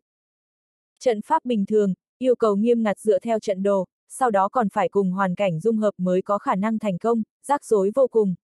Một đao khắc sai, liền có thể có thể dẫn đến toàn bộ đại trận tan vỡ, biến thành phế phẩm. Mà trận pháp thiên đạo, chú ý chính là nối liền, khí tức lưu loát, đại đạo đơn giản nhất. Cùng một trận pháp, cùng loại trận đồ, sử dụng phương pháp trận pháp thiên đạo khác, sẽ đơn giản hơn mấy lần. Trận hải chắc hẳn là chuẩn bị xong, đi qua xem một chút. Lắc đầu, không lại giàu dĩ về vấn đề trận bàn, Trương Huyền đi tới tàng thư khố. Nên học tập đã học xong, đối với trận pháp hắn có hiểu biết càng sâu hơn, cũng nên đi thử một chút cái gọi là trận hải, thuận tiện sát hạch một trận pháp sư. Trận hải, chỉ là một loại xưng hô, cũng không phải là biển, chỉ là một hành lang, ở vào tầng thứ ba của nghiệp đoàn trận pháp sư, bố trí không biết bao nhiêu trận pháp. Chỉ cần đi vào, lại thường xuyên có nguy cơ bị nhốt, mê huyễn, thậm chí chết chóc. Bởi vì, ở đây các loại trận pháp đều có, tất nhiên cũng bao gồm sát trận. Chỉ có điều, yên tâm, trong tay mỗi một người sát hạch chúng ta, đều cầm một miếng trận phù bảo toàn tính mạng. Thật sự gặp phải nguy hiểm tính mạng, không có cách nào trốn tránh, bóp nát, trận pháp sẽ tự nhiên dừng lại, không công kích nữa. Tại lối vào hành lang trận hải, một người thanh niên nhìn quanh một vòng, căn dặn hai vị học đệ phía sau. Ba người đều do một lão sư dạy dỗ, hai người phía sau, lần đầu tiên sát hạch trận pháp sư. Học trưởng trước mặt này, lại sát hạch tới nhị tinh. Lúc này, hai người niên học thoáng lộ ra một chút khẩn trương, môi trắng bệch, lòng bàn tay đầy mồ hôi. Không cần khẩn trương, một lát nữa ta từ cửa thứ nhất đi một lần trước, cho các ngươi nhìn. Nhớ kỹ, mỗi người trải qua trận pháp là ngẫu nhiên, cũng không giống nhau. Kinh nghiệm của ta, chỉ có thể tham khảo, không thể dập khuôn. Hiểu không? Học trưởng nói. Học trưởng yên tâm, chúng ta sẽ chú ý. Chúng ta tranh thủ thông qua cửa thứ nhất, không khiến cho lão sư thất vọng. Hai người học đệ phía sau siết chặt nắm đấm. Rất tốt, vậy ta hiện tại lại xông qua, cho các ngươi nhìn một chút. Chú ý, không quan tâm gặp phải trận pháp gì, không nên lỗ mãng sốt ruột. Phải bình tĩnh phân tích, mới có khả năng tìm ra sinh môn, một lần hành động đột phá. Thấy thái độ của hai người vẫn tính là khiêm tốn, học trưởng thỏa mãn gật đầu. Nói xong thân thể hắn chuyển động một cái, đi nhanh về phía hành lang trận hải trước mắt. Ong! Một bước vào trong đó, lập tức xuất hiện sương mù dày đặc. Trận pháp xuất hiện ở trước mắt, hắn cũng bị hoàn toàn vây khốn. Trận hải cửa thứ nhất, trận pháp nhất cấp. Cái bức tường kia. Hai người đồng thời nhìn sang. Một phía bức tường của hành lang, do thủy tinh đặc biệt chế luyện ra, có thể phản ánh rõ ràng tình cảnh người xông qua cửa ải. Ảnh ngược của bóng dáng học trưởng ở trên vách tường, lúc này hai hàng lông mày đang nhăn lại, quan sát xung quanh. Nếu muốn phá trận, đầu tiên phải biết là trận gì, sinh môn, tử môn ở chỗ nào, nhược điểm ở chỗ nào. Không tìm được những điều này, cho dù thực lực cường thịnh mấy đi nữa, cũng không có bất kỳ tác dụng nào.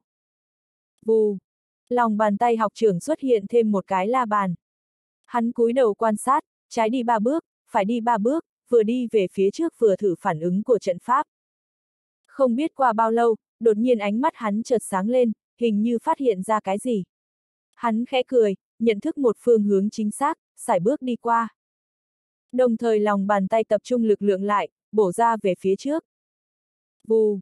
Một tiếng nổ lớn, sương mù dày đặc trước mắt biến mất, bóng người lại lần nữa xuất hiện ở trước mặt hai người, chính là học trưởng. Thấy không, đây là cửa thứ nhất, chỉ cần nghiêm túc phân tích, tìm ra phương hướng vị trí nơi linh khí phát ra, cùng với biến hóa sau khi bị đụng vào, là có thể phân tích ra rốt cuộc là loại trận pháp nào, sau đó sẽ xác định vị trí của bản thân, tìm được sinh môn. Trận pháp, cũng lại giải quyết dễ dàng. Thông qua cửa thứ nhất, học trưởng vẫn chưa tiếp tục xông cửa thứ hai, mà xoay người lại, nhìn về phía hai người giới thiệu. Hiện tại hắn là tới sát hạch trận pháp sư nhị tinh, nhất tinh từ lâu quen việc dễ làm. Vừa rồi chỉ là biểu diễn một chút cho các học đệ, giúp bọn họ giảm bớt áp lực tâm lý. Vâng. Hai người học đệ đồng thời gật đầu. Nói thì nói như vậy, nhưng bị trận pháp vây khốn, xung quanh hoàn toàn giống nhau, không có vật tham chiếu, rất dễ dàng mất đi phương hướng. Cho dù có la bàn, cũng chỉ có thể phân tích quỹ tích linh khí vận hành mà thôi, không thể xác nhận rốt cuộc người ở chỗ nào, lại bị nhốt ở trong trận pháp thế nào. chương 822, huyễn trận đáng sợ 2. Khốn trận nhất cấp, không dưới mấy nghìn loại, cùng một loại, cũng phân nhỏ không dưới mấy trăm phần khác nhau. Nếu như không phải hiểu rõ rất sâu sắc đối với trận pháp, muốn phá vỡ, từ trong đó đi ra, tuyệt đối là không có khả năng. Được, ta hiện tại sông cửa thứ hai, không quan tâm có thành công hay không, các người cũng phải học một chút, xem như kinh nghiệm. Giải thích xong, hít sâu một hơi, ánh mắt học trưởng ngưng trọng. Xông qua cửa thứ nhất, làm trận pháp sư nhất tinh đỉnh phong, hắn có 10 phần nắm chắc. Cửa thứ hai độ khó lại lớn hơn. bù Lại một bước, cửa trận pháp thứ hai kích hoạt, cùng thời khắc đó, trên vách tường xuất hiện cái bóng. Sư huynh tại sao bất động? Đồng loạt nhìn sang, hai người học đệ lúc này mới phát hiện, sau khi tiến vào cửa thứ hai, động tác của học trường, rõ ràng không quá giống với trước đó, vừa vào lấy ra la bàn tìm kiếm khắp nơi, xác nhận trận pháp loại. Mà lần này, giống như là ngây người, vẫn không nhúc nhích. Nguy rồi, không phải là huyễn trận chứ. Người học đệ thân mặc trang phục màu trắng nghĩ đến cái gì, không nhịn được nói. Huyễn trận. Học đệ thân mặc trang phục màu xanh trừng mắt. Huyễn trận, quấy nhiễu tinh thần. Người vừa tiến vào trong đó, lại chán nản trầm mê ở cảnh tượng trước đó bố trí xong, không có cách nào tự kiềm chế, so với khốn trận càng đáng sợ hơn. Khốn trận, giống như lồng giam, biết rõ không ra được, chỉ ít tâm trí không bị quấy nhiễu, người là tỉnh táo. Nhưng bị nhốt trong huyễn trận, tinh thần rời rã, không biết mình là ai, lại người ở phương nào. Cho dù muốn chạy trốn, cũng không thể nào chạy trốn được. Vù vù vù. Trong sự nghi ngờ của hai người, sắc mặt học trưởng trong trận trở nên dữ tợn, hoàn toàn không có chút sắc máu. Chân khí trong cơ thể sôi trào, đánh loạn đập loạn ra xung quanh, giống như phát điên. Phụt! Không biết qua bao lâu, hình như chân khí tiêu hao gần hết, một ngụm máu tươi phun ra, lúc này hắn mới tỉnh táo lại, vội vàng bóp nát ngọc bài trong tay. Sương mù dày đặc biến mất, hắn lại xuất hiện ở trước mặt hai người, vẻ mặt mệt mỏi. Xông qua cửa thứ hai, thất bại. Học trưởng. Thấy hắn đi tới, lại không hăng hái như vừa rồi, trái lại bổ nhào giống như con gà bại trận, hai người học đệ, càng hoảng hốt hơn. Sông trận hải, thất bại là chuyện thường, chỉ có thể nói vận khí không tốt, kích hoạt một huyễn trận. Nuốt vào một viên đan dược, sắc mặt khôi phục lại một ít, nhìn về phía hai người học đệ, người thanh niên xấu hổ cười. Đúng vậy, huyễn trận thật sự quá khó khăn. Học đệ trang phục màu xanh nói. Nếu lần này là khốn trận, học trưởng khẳng định trực tiếp thông qua, trở thành trận pháp sư nhị tinh. Học đệ trang phục màu trắng nói. Nếu như là khốn trận, ta thực sự có tự tin trực tiếp thông qua. Thấy hai người học đệ vẫn chưa mất đi sự sùng bái đối với hắn, học trưởng thở phào nhẹ nhõm, nói. Ta từng làm thống kê, trận pháp sư nhị tinh, 10 năm qua, tổng cộng có 88 người đến đây sát hạch. Trong đó có 22 lần xuất hiện qua huyễn trận. Đáng tiếc, không có người nào thông qua. Có thể thành công, cơ bản đều là khốn trận, mê trận các loại. Gặp phải sát trận thì sao? Sát trận. Học trưởng lắc đầu. Vậy thì càng đừng nghĩ thành công. Một khi bước vào, đi nhầm một bước chính là tử vong. Đừng nói phá trận, có thể giữ được tính mạng cũng không tệ. Khó như vậy sao, chẳng phải cho thấy, không ai có thể thông qua sao. Nghe được sát trận đáng sợ như vậy, hai người học đệ lại khẩn trương. Nói thật cho các người biết, xông qua trận hải, gặp phải sát trận, khốn trận, gần như không ai có thể thành công. Một lát nữa, các người trở ra, một khi phát hiện không thích hợp, tốt nhất lập tức bóp nát ngọc phù, đừng có bạo gan dãy ruộng. Thần sắc học trưởng ngưng trọng căn dặn. Vâng. Hai người học đệ đồng thời gật đầu. Yên tâm đi học trưởng. Gặp phải sát trận, huyễn trận, chúng ta tuyệt đối sẽ xoay người rời đi. Ngay cả học trưởng còn không có cách nào thông qua, những người khác ai có thể thông qua. Chí ít nghiệp đoàn này rất khó có người hoàn thành. Hai người đang khích lệ vị học trưởng thiên tài này của mình, lại thấy ở chỗ lối vào hành lang trận hải, một người thanh niên lười biếng đã đi tới. Tuổi tác của người này thoạt nhìn còn nhỏ hơn so với bọn họ, cũng chưa đến 20, trong ánh mắt mang theo tơ máu, hình như mấy ngày mấy đêm không ngủ, đầy vẻ mệt mỏi dã rời. Người này là ai, thế nào chưa từng thấy qua? Ba người đồng thời sửng sốt. Bọn họ theo lão sư, ở lại nghiệp đoàn trận pháp sư ngắn nhất cũng không dưới 5 năm. Chỉ cần là học đồ, trận pháp sư, không người nào không biết. Nhưng người trước mắt này, rất lạ mặt. Có thể là học đồ không biết từ nơi nào xuất hiện. Vừa nhìn đã biết tố chất tâm lý không tốt, chắc hẳn khiếp sợ đến mức mấy ngày không ngủ, mới bộ dạng tệ thế này. Đúng vậy, vành mắt cũng đỏ. Xông vào trận hải sợ đến như vậy, cũng coi như kỳ lạ. Hai người học đệ đồng thời cười nhạo. Bọn họ vừa rồi khẩn trương, cảm thấy rất mất mặt. Người này thì hay rồi. Người xem cái bộ dáng này, quần áo không chỉnh tề, toàn thân suy sụp. Nhất định là khiếp sợ đến mức mấy đêm không ngủ, mới có dáng vẻ đáng khinh như vậy. Nghiệp đoàn làm sao vậy? Hàng năm không phải có hạn chế số người sao, người như thế, cũng có thể qua sông vào trận hải. Học trưởng cũng nhíu lông mày lại một cái. chương 823, là chân thượng một. Sông trận hải, có thể trở thành trận pháp sư, nhưng cũng không phải là người nào cũng có thể xông qua. Phải sớm xin phép, hội trưởng tự mình phê chuẩn, càng dính dáng tới quá trình, hội nghị trưởng lão, số người tuyển chọn. Thậm chí còn phải nộp khoản chi phí không nhỏ. Người trước mắt này, nếu đi tới nơi này, nói rõ nhất định là nhận được sự cho phép. Nhưng từ khi nào nghiệp đoàn xuống dốc đến vậy, để cho một người tố chất tâm lý kém như vậy, cũng tới sát hạch. Trong lòng khẩn trương cảm thấy không ngủ ngon thì cũng thôi, chủ yếu nhất là thái độ đối mặt với trận hải. Chỉ cần đi qua sát hạch, trong lòng đều tồn tại sự kính nể, e sợ, mang theo kính trọng đối với nghề nghiệp trận pháp. Người này thì hay rồi, bộ dạng lười biếng. Chẳng lẽ, người vẫn cảm thấy có thể thông qua cửa thứ nhất sao? Để cho hắn sát hạch trước, một lát nữa thất bại, cũng tiện tiếp thu chút kinh nghiệm. Trong lòng chán ghét, học trưởng nhỏ giọng căn dặn. Vâng. Hai người học đệ đồng thời lộ ra biểu tình cười trên nỗi đau của người khác. Rất hiển nhiên, theo bọn họ, người này không có cách nào thông qua là chuyện ván đã đóng thuyền. Người khiến cho ba người không còn lời nào nói, chính là Trương Huyền từ tàng thư khố chạy tới. Liên tục xem sách trong thời gian dài như vậy, lại học tập hai tầng trận pháp thiên đạo, trạng thái tinh thần có thể tốt, mới thật sự là gặp quỷ. Dọc đường đi vừa điều chỉnh hít thở, loại bỏ mệt mỏi trong cơ thể, rất nhanh hắn đã đi tới trước mặt ba người. Các người cũng xông qua trận hải. Thấy bọn họ đứng tại chỗ, đồng loạt nhìn mình, Trương Huyền nghi ngờ nhìn qua. Chúng ta điều chỉnh một chút, nếu như muốn xông qua, mời ngươi đi trước. Thấy người này đối với hắn vị trận pháp sư chính thức này, không có một chút ý tứ tôn trọng, rất tùy ý mở miệng, học trưởng vung ống tay áo, bực bội nói. a à, nếu các ngươi không vội, ta lại không khách khí. Tới nghiệp đoàn trận pháp sư cũng một khoảng thời gian, đối phương đã có ý tưởng nhường, Trương Huyền cũng sẽ không từ chối, cười gật đầu, nhấc chân lại đi về phía trong. Lại tiến vào như thế, quá mãnh liệt.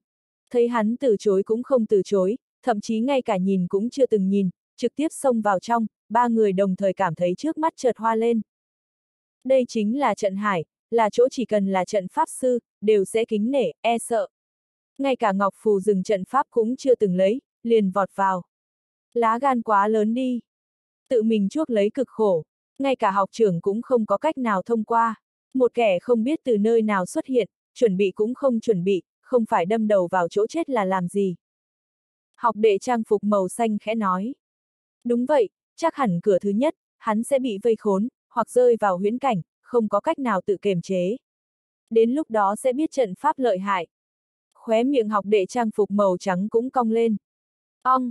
Đang hừ nhẹ, chờ nhìn người thanh niên này xấu mặt, đã thấy hắn đi vào thông đạo, kích hoạt trận pháp. Sương mù dày đặc dâng lên, bao phủ hắn. Đồng thời trên vách tường xuất hiện thêm bóng dáng của người thanh niên. Ô ô ô ô! Xung quanh người thanh niên, linh khí chuyển động, giống như đám mây cuồn cuộn, phong tỏa tất cả năm giác sáu thức, không phân rõ được phương hướng. Là khốn trận, linh khí tuôn trào nhanh như vậy, dày đặc như thế, giống như xương trắng. Nếu như ta không nhìn lầm, chắc là hắn kích hoạt Vân Hải khốn trận. Học trưởng nhận ra được. Mình bị nhốt ở trong trận, cần phải dùng la bàn định vị, quan sát phương hướng linh khí lưu chuyển, mới có khả năng phán đoán ra loại trận pháp cùng đứng từ bên ngoài quan sát, xét lại không giống nhau. Có thể căn cứ vào dáng vẻ trận pháp hiện ra, tiến hành suy đoán, hiệu suất bình thường đều rất nhanh, cũng rất chính xác. Trong nhà chưa tỏ, ngoài ngõ đã tường, ngoài cuộc tỉnh táo trong cuộc u mê. Vân Hải khốn trận, trong trận pháp nhất cấp, đây chính là một trận đỉnh phong nhất, khó đối phó nhất. Trận pháp này, phong tỏa sáu thức, cái gì cũng nhìn không thấy. Cho dù có la bàn thôi diễn, không đoán ra loại trận pháp, cũng rất khó phá vỡ. Không nghĩ tới người này vận khí xui xẻo như vậy. Vừa đi vào lại gặp phải khốn trận lợi hại như vậy, hai học đệ đều lắc đầu, tràn ngập sự đồng tình. Không có thực lực, gặp phải một trận đơn giản, có lẽ còn có thể gặp vận lớn. Gặp phải khốn trận cường đại như vậy, chỉ có thể tự nhận xui xẻo. Các ngươi cũng thấy được người này, cho dù gặp phải khốn trận, cũng không thể bảo đảm khẳng định thông qua. Xông vào trận hải, phải duy trì tinh khí thần sung túc, đồng thời phải có sự kính nể, e sợ nồng đậm đối với trận pháp mới được. Không thể học theo người này, lỗ mãng vô tri, tự mình chuốc lấy cực khổ. Thấy người này đến bây giờ chưa từng lấy trận bàn ra, học trưởng lắc đầu, quay đầu lại căn dặn hai người học đệ. Còn chưa nói dứt lời, chỉ thấy hai người học đệ đồng thời mở to hai mắt nhìn, mỗi một người run rẩy giống như phát điên vậy. Thế nào? Thấy bọn họ thất thố như vậy, học lông nhíu mày lại một cái. Lão sư đã đặc biệt thông báo, trước khi sông trận hải, cần phải tập trung tinh thần, không kiêu ngạo không nóng nảy. Các ngươi nóng nảy không ổn định như vậy, làm sao có thể thành công? Không phải học trưởng, học trưởng xem. Học đệ trang phục màu xanh sốt ruột sắc mặt đỏ ửng, vội vàng chỉ tay về phía trước. Ngạc nhiên cái gì, không phải bị khốn trận vây khốn không ra được sao? Yên tâm đi, một canh giờ còn không ra được, trận pháp sẽ tự động biến mất, đại biểu xông qua ải thất bại. Khốn trận cũng không đả thương đến tính mạng. Hừ một tiếng, học trưởng xoay người sang chỗ khác, còn chưa nói dứt lời, cổ họng thoáng cái câm nín, thân thể cứng đờ, cằm rơi trên mặt đất. Cái gì? Chỉ thấy người thanh niên vốn tưởng rằng rơi vào khốn trận không thể tránh được, lúc này đang đứng lặng lẽ ở cách đó không xa, chậm rãi lắc đầu, vẻ mặt nhẹ nhàng như gió thoảng may bay. Sương mù tỏa ra ở khắp nơi xung quanh, tự nhiên biến mất. Nói cách khác, Vân Hải khốn trận vừa rồi khiến cho hắn hoảng sợ, dĩ nhiên đã phá xong. Phá được trận pháp, khiến cho nó dừng lại, hoàn toàn không có chút vết tích. Không phải không qua được sao? Hơn nữa, cho dù thông qua, cũng không đến mức nhanh như vậy được. La bàn các loại cái gì cũng chưa từng cầm, cũng không đi nhận rõ phương hướng linh khí, thời gian giáo huấn hai người học đệ, trận pháp không còn. Có cần khoa trương như vậy hay không? chương 824, là chân thượng hai. Vừa rồi có chuyện gì xảy ra? Thật sự không nhìn được hỏi, học trưởng vội vàng hỏi. Chúng ta cũng không, nhìn thấy rõ ràng, chỉ nhìn hắn đạp một cước đối với trận pháp. Sau đó, sau đó, sau đó, sẽ không có nữa. Học đệ trang phục màu xanh không nhịn được nói. Đạp một cước, đã không còn. Ngươi nói cái gì vậy? Sắc mặt học trưởng trầm xuống. Ta hỏi ngươi đối phương phá trận như thế nào, ngươi lại nói với ta đạp một cước. Đạp em gái ngươi à? Trận pháp cũng không phải là người, nếu như đạp một cước là có thể dừng, còn cần những trận pháp sư bọn họ làm cái gì? Nghề nghiệp này cũng không đến mức khiến cho nhiều người hướng tới và kiêng kỵ như vậy. Thật sự chỉ là đạp một cước. Khóe miệng co giật, học đệ trang phục màu xanh sắp muốn khóc. Hắn đã từng từ trên vách đá nhìn thấy được, người này đạp một cước, trận pháp dừng lại. Thật sự nói ra, không chỉ học trưởng không tin, ngay cả hắn cũng cảm thấy có phải mình hoa mắt hoặc rơi vào ảo trận hay không. Nếu không, Vân Hải khốn trận nhất cấp đỉnh phong, làm sao có thể lại phá hủy đơn giản như vậy? Là đạp một cước. Học đệ trang phục màu trắng cũng đầy ngây người gật đầu. Đúng vậy, đó là sự thật. Thấy có người xác nhận, học đệ trang phục màu xanh lúc này mới xác định mình không điên, sốt ruột vội vàng gật đầu. Đạp. Học trưởng phát điên. Là đầu óc các người bị đạp, mới có loại cách nói hoang đường này. Trận pháp vô hình vô chất, có thể đạp sao? Được rồi, không quan tâm hắn dùng phương pháp gì, cửa trận pháp thứ nhất đơn giản, thông qua không tính là quá khó khăn. Nếu như hắn vẫn tiếp tục xông tới, chỉ sợ cũng không dễ dàng như vậy. Thấy hai người học đệ nói cũng nói không rõ ràng, học trưởng khoát tay áo, hai mắt mở to nhìn chăm chú tới. Vừa rồi nói chuyện không thấy được, lần này lại không thể bỏ qua. Hắn cũng muốn biết rõ ràng, người này rốt cuộc sử dụng phương pháp gì phá hỏng đại trận.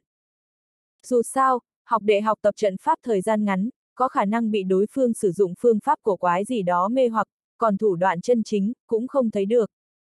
Bù, Hắn bên này tập trung tinh thần, bên kia người thanh niên vừa phá hỏng Vân Hải khốn trận, quả nhiên không ngừng lại, tiếp tục đi về phía trước. Ong! Rất nhanh, chạm vào cửa trận pháp thứ hai, một luồng xương trắng sinh ra, người thanh niên lại bị bao phủ ở bên trong. Là, huyễn trận. Đồng tử của học trưởng co lại. Vừa rồi rơi vào huyễn trận, trong lòng hắn còn sợ hãi, biết loại trận pháp này đáng sợ.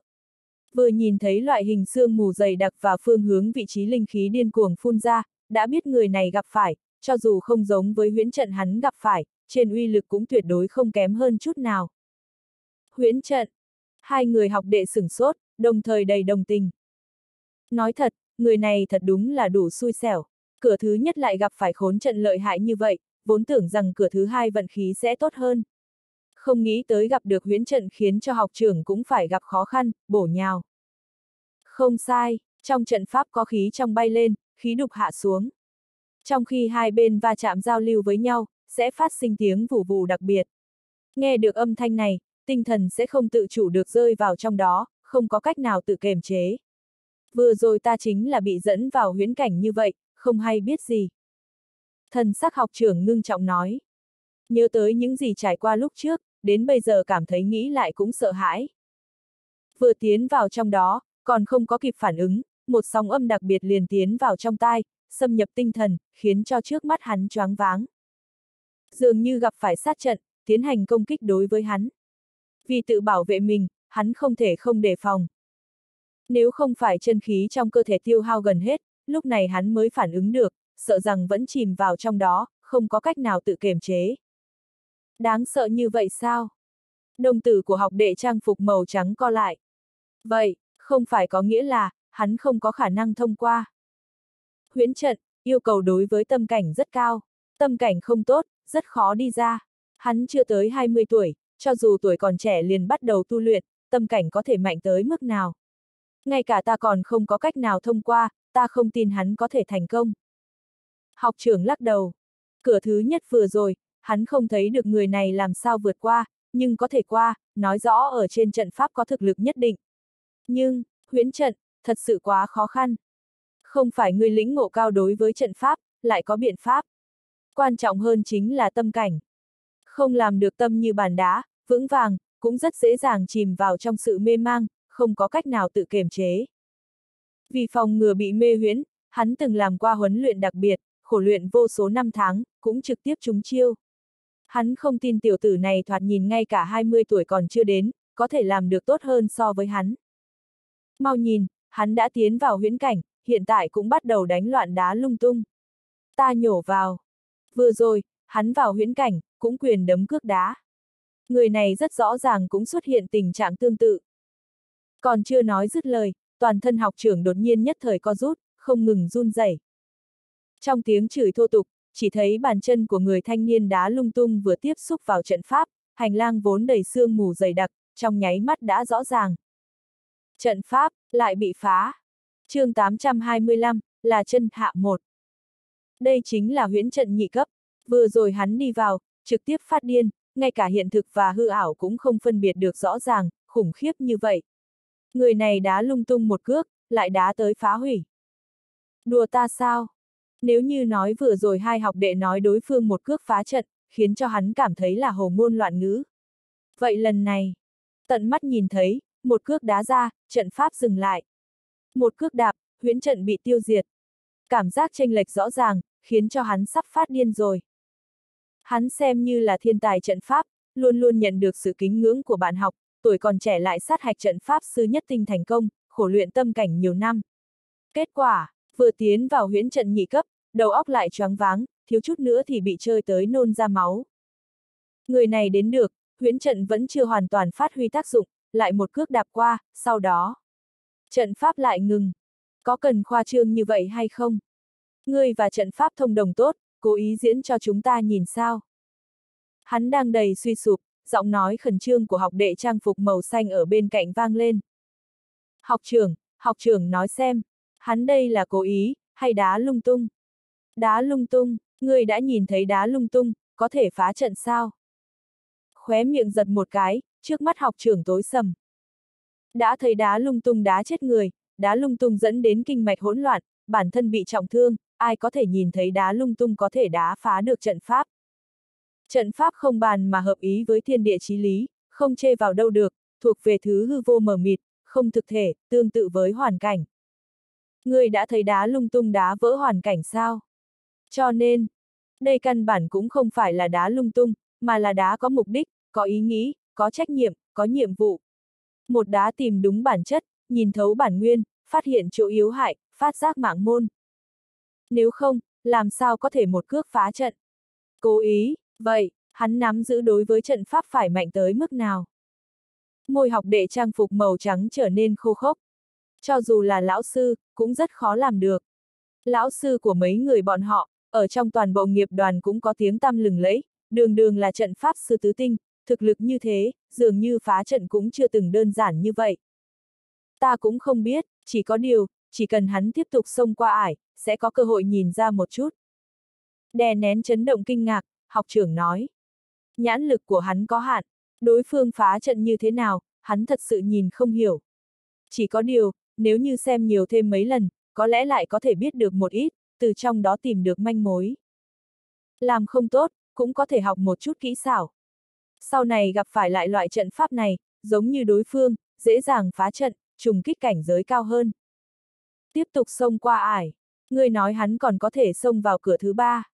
Có thể đơn giản phá được huyễn trận nhị cấp như vậy, ít nhất là vị trận pháp sư tam tinh. Đương nhiên vẫn phải tiếp tục xông tới. Điều này ngược lại cũng đúng. Ba người đồng loạt nhìn về phía trước, quả nhiên giống như suy đoán, người thanh niên trong trận pháp kia thoạt nhìn có khí nhưng vô lực, bất cứ lúc nào cũng sẽ nằm xuống, một bước đá phá huyễn trận trước mắt xong, cũng không lui lại, không có ngừng lại, tiếp tục đi về phía trước. Trận pháp đạt được tam cấp, chỉ dựa vào hấp thu linh khí thiên địa đã rất khó vận chuyển. Thông thường cũng sẽ ở trong trận cơ, để linh thạch lên khởi động.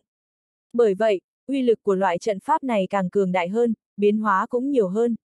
Muốn loại bỏ, sợ rằng không đơn giản như trước vậy. Thần sắc học trưởng nghiêm trọng. Không quan tâm trận pháp hay cái gì, muốn cho nó phát sinh tác dụng, đều cần động lực. Tương tự như bò ăn cỏ, người ăn thứ ăn, bất kỳ vật gì, cũng không thể không cần tiêu hao, lại không ngừng vận chuyển. Trận pháp nhất cấp, nhị cấp, cấp bậc thấp, tự động hấp thu linh khí thiên địa, có thể kích hoạt, phát sinh uy lực. Đạt được ngoài tam cấp, lại không quá dễ dàng. Cho dù cũng có thể tự chủ hấp thu linh khí, cũng cần tích lũy không biết bao nhiêu năm tháng mới có thể sử dụng một lần. Thật giống như hiên viên đại trận trước đây, tích lũy nghìn năm, chỉ dùng một chút, năng lượng lại tiêu hao hầu như không còn. Trận hải hàng năm đều có vô số người muốn xông vào. Dựa vào tự chủ hấp thu, có khả năng không lớn. Thông thường cũng sẽ ở trong trận cơ để vào linh thạch khởi động. Có thứ này cung cấp năng lượng, khác nhau giống như xe ngựa và người xe, động lực càng đủ hơn, uy lực mạnh hơn, cũng càng khó phá giải. Người thanh niên này vừa rồi phá được trận pháp nhất cấp, nhị cấp dễ dàng. Nhưng đối mặt với trận pháp tam cấp nắm giữ linh thạch cung cấp động lực, chỉ sợ cũng không đơn giản như vậy. Vù! Trong lúc nói chuyện, trận pháp tam cấp khởi động, bóng dáng của người thanh niên thoáng cái rơi vào hoàn cảnh trắng xóa. Trên vách tường, cái bóng hình như trong phút chốc lọt vào một cái hố cực lớn. Bốn phía đều là khí núi sắc bén, giống như cánh hoa từ trên trời rơi xuống, tràn ngập cảm giác quỷ dị. Đất lún xuống thành hố, linh khí làm binh, chẳng lẽ là thanh hồng phi hoa trận. Môi run lên, học trưởng thiếu chút nữa thì khiếp sợ lập tức ngã ngồi dưới đất. Thanh hồng phi hoa trận, đó là trận pháp gì? Hai người học đệ nhìn qua. Bọn họ hiện tại chỉ là học đồ, qua sát hạch trận pháp sư nhất tinh, đối với không ít trận pháp cấp bậc cao, cũng không biết được rõ ràng, thậm chí nghe cũng chưa từng nghe qua. Là, là, sát trận. Giọng nói của học trưởng run rẩy. Sát trận. Đồng thời thoáng lảo đảo một cái, hai học đệ thiếu chút nữa cắn đầu lưỡi. Trong trận pháp, huyễn trận, sát trận đáng sợ nhất. Kết quả người này đều gặp được, nhân phẩm cũng quá tệ. Huyễn trận lại đáng sợ như vậy, thiếu chút nữa khiến cho học trưởng không có cách nào đi ra. Sát trận, người này lại không cầm ngọc phù, sẽ không bị giết chết ở bên trong chứ. Sát trận này rất lợi hại. Đè nén chấn động kinh ngạc, học đệ trang phục màu trắng giọng điệu run rẩy. Thanh hồng phi hoa trận, sát trận tam cấp đỉnh phong, nghe nói là 1.500 năm trước, một người gọi là Trầm Thanh Hồng sáng chế ra, đất lún xuống thành hố, khắp không trung là hoa bay, khiến người ta ở trong hoàn cảnh cực đẹp tử vong, hoàn toàn không có chút thống khổ nào. Trận pháp này, từng chém giết qua cường giả hóa phàm nhị trọng, được gọi là uy lực đứng đầu trong trận pháp tam cấp. Các ngươi nói có lợi hại hay không? Âm thanh khàn khàn, cũng không biết học trưởng là sợ, hay khẩn trương. Giết qua hóa phàm nhị trọng. Vậy, vậy, đã có thể so với trận pháp tứ cấp. Đồng tử của hai người co lại. Trận pháp nhất cấp, có thể giết cường giả thông huyền cảnh. Trận pháp nhị cấp, có thể giết cường giả nửa bước tông sư thậm chí tông sư. Trận pháp tam cấp, có thể đối phó với trí tôn. Đi lên nữa, nửa bước hóa phàm, thậm chí hóa phàm, lại cơ bản có phần không thể ra sức. Sát trận này, thậm chí ngay cả hóa phàm nhị trọng cũng u giết qua, so với một ít trận pháp tứ tinh, sợ rằng cũng chỉ mạnh hơn chứ không kém. Mức độ đáng sợ, có thể tưởng tượng được. Cho dù chính tay nghe nói, cũng khó có thể tin được. Vậy, hắn có thể gặp phải nguy hiểm hay không? Học đệ trang phục màu xanh không nhịn được nói. Cái này khó mà nói được, phải xem thực lực và thủ đoạn bảo toàn tính mạng của hắn như thế nào. Nếu như đều rất bình thường, vậy chỉ có một kết quả. Chết! Học trưởng lắc đầu, muốn nói tiếp, chân mày đột nhiên nhíu lại một cái. Mau nhìn, trận pháp vận chuyển. Dựa theo lời của hắn, trên vách tường, linh khí hình thành khí núi, đột nhiên lộ ra vẻ dữ tợn, giống như khắp bầu trời có mũi tên nhanh chóng lao đến, từ bốn phương tám hướng đồng thời tràn về phía người thanh niên. Những khí quang này có uy lực cực lớn, cho dù cường giả trí tôn đụng với, cũng khó tránh khỏi ruột thủng bụng nát, khó có thể chống đỡ. Xem hắn chống đỡ thế nào, nếu như là ta, khẳng định tránh né phong quang trước, lại tìm kiếm sinh môn. Lấy mình suy ra người, học trưởng đang nghĩ ngợi xem đối phương làm như thế nào tránh thoát được một kiếp này, chỉ thấy người kia bình thản không có gì kinh ngạc, bàn chân, lại giơ lên. Vù! Hướng về phía mưa hoa bay khắp bầu trời, đạp tới. Vậy, không phải là muốn chết sao? Mặt người này còn dùng chiêu này, ba người đồng thời phát điên rồi. Khốn trận, huyễn trận, không có nguy hiểm tính mạng, đạp một bước, thì cũng thôi. Đây chính là sát trận, khí quang khắp bầu trời giống như mỗi một lưỡi dao, đâm ở trên người. Ai cũng chịu không nổi, nâng chân đạp. Ta muốn hỏi một chút, người suy nghĩ như thế nào? Vẻ mặt phát điên, cảm thấy người này xem như không chết, chân cũng sẽ bị cắt không còn lại cái gì, đã thấy toàn bộ trận pháp đột nhiên cứng đờ. Vù! Một tiếng nổ lớn, khí quang khắp bầu trời tiêu tan. Đại trận vốn uy lực vô cùng, bất cứ lúc nào cũng sẽ chém giết người, tan ra giống như băng tuyết vậy, biến mất không còn một mảnh, lại cũng nhìn không thấy. Bóng dáng của người thanh niên lại xuất hiện ở trước mặt mọi người. Trận pháp phá. Lại, lại, thành công. Ba người nhìn nhau, giống như bị xét đánh. Lại là một cước phá trận. Đây rốt cuộc có chuyện gì xảy ra? Học trưởng co giật, cảm thấy thở có chút hổn hển, sắp nghẹn chết. Vốn tưởng rằng, thời điểm cửa thứ hai, động tác quá nhanh, không thấy rõ. Chỉ cần lại để cho hắn xem nhiều thêm một hồi, là có thể tìm ra kỹ xảo phá trận của đối phương, thuận tiện học tập một chút. Hiện tại xem ra, suy nghĩ quá nhiều. Một cước phá trận, loại chiêu số kỳ lạ này, cho dù nhìn thêm nhiều lần nữa, cũng vô dụng. Căn bản cũng không có khả năng học tập. Không chỉ như vậy, các ngươi nhìn, hắn dường như còn muốn tiếp tục xông tới cửa thứ tư. Học đệ trang phục màu xanh nói. Nghe nói như thế, hai người còn lại liền nhìn lại. Quả nhiên thấy người thanh niên lộ ra bóng người, lắc đầu, hình như thở dài vì trận pháp quá yếu, nhấc chân đi về phía vị trí cửa thứ tư. Thông qua cửa thứ tư, lại đại biểu sát hạch trận pháp sư tứ tinh thành công. Một người chưa đầy 20 tuổi, sát hạch trận pháp sư tứ tinh. Là ai mới vừa nói, hắn ngay cả cửa thứ nhất cũng không qua được. Là ai coi thường hắn? Ba người đều cảm thấy thân thể cứng đờ, sắp phát điên rồi. Bên này ba người chấn động kinh ngạc dục tiên dục tử, bên ngoài hành lang trận hải, trong một lư hương không lớn, bốn cây hương dài đồng thời được đốt lên, khói phiêu đáng, khiến người ta có một loại cảm giác tâm thần an bình. Trịnh hội trưởng, người nói vậy là có ý gì? Biết rõ ba học sinh của ta ngày hôm nay xông vào trận hải, còn để cho người kia tiến vào trong, tới phá dối sao? Phía trước hương dài, một lão nhân dâu bạc trắng trợn mắt trách. Đó là sư trận pháp sư tứ tinh của nghiệp đoàn trận pháp, trưởng lão nghiệp đoàn, Vương Hạo Huân. Cũng chính là lão sư của ba người, học trưởng, học đệ, bên trong. Ba vị học sinh này của hắn, ngày hôm nay sông trận hải, là quyết định từ một tháng trước. Ai biết hội trưởng vừa đến, lại muốn cắm người vào. Vốn tưởng rằng là cắm vào là học sinh tiểu ngũ kia, người này cũng phải sát hạch trận pháp sư tam tinh. Ai ngờ lại là một người chưa từng thấy qua. Không quan tâm đã từng thấy qua hay không, có bản lĩnh thật sự cũng được. Người xem thái độ lười biếng này, bộ dạng này bất cứ lúc nào cũng sẽ ngủ. Người như vậy cũng có thể xông qua trận hải. Audio điện tử võ tấn bền. Hết chương 825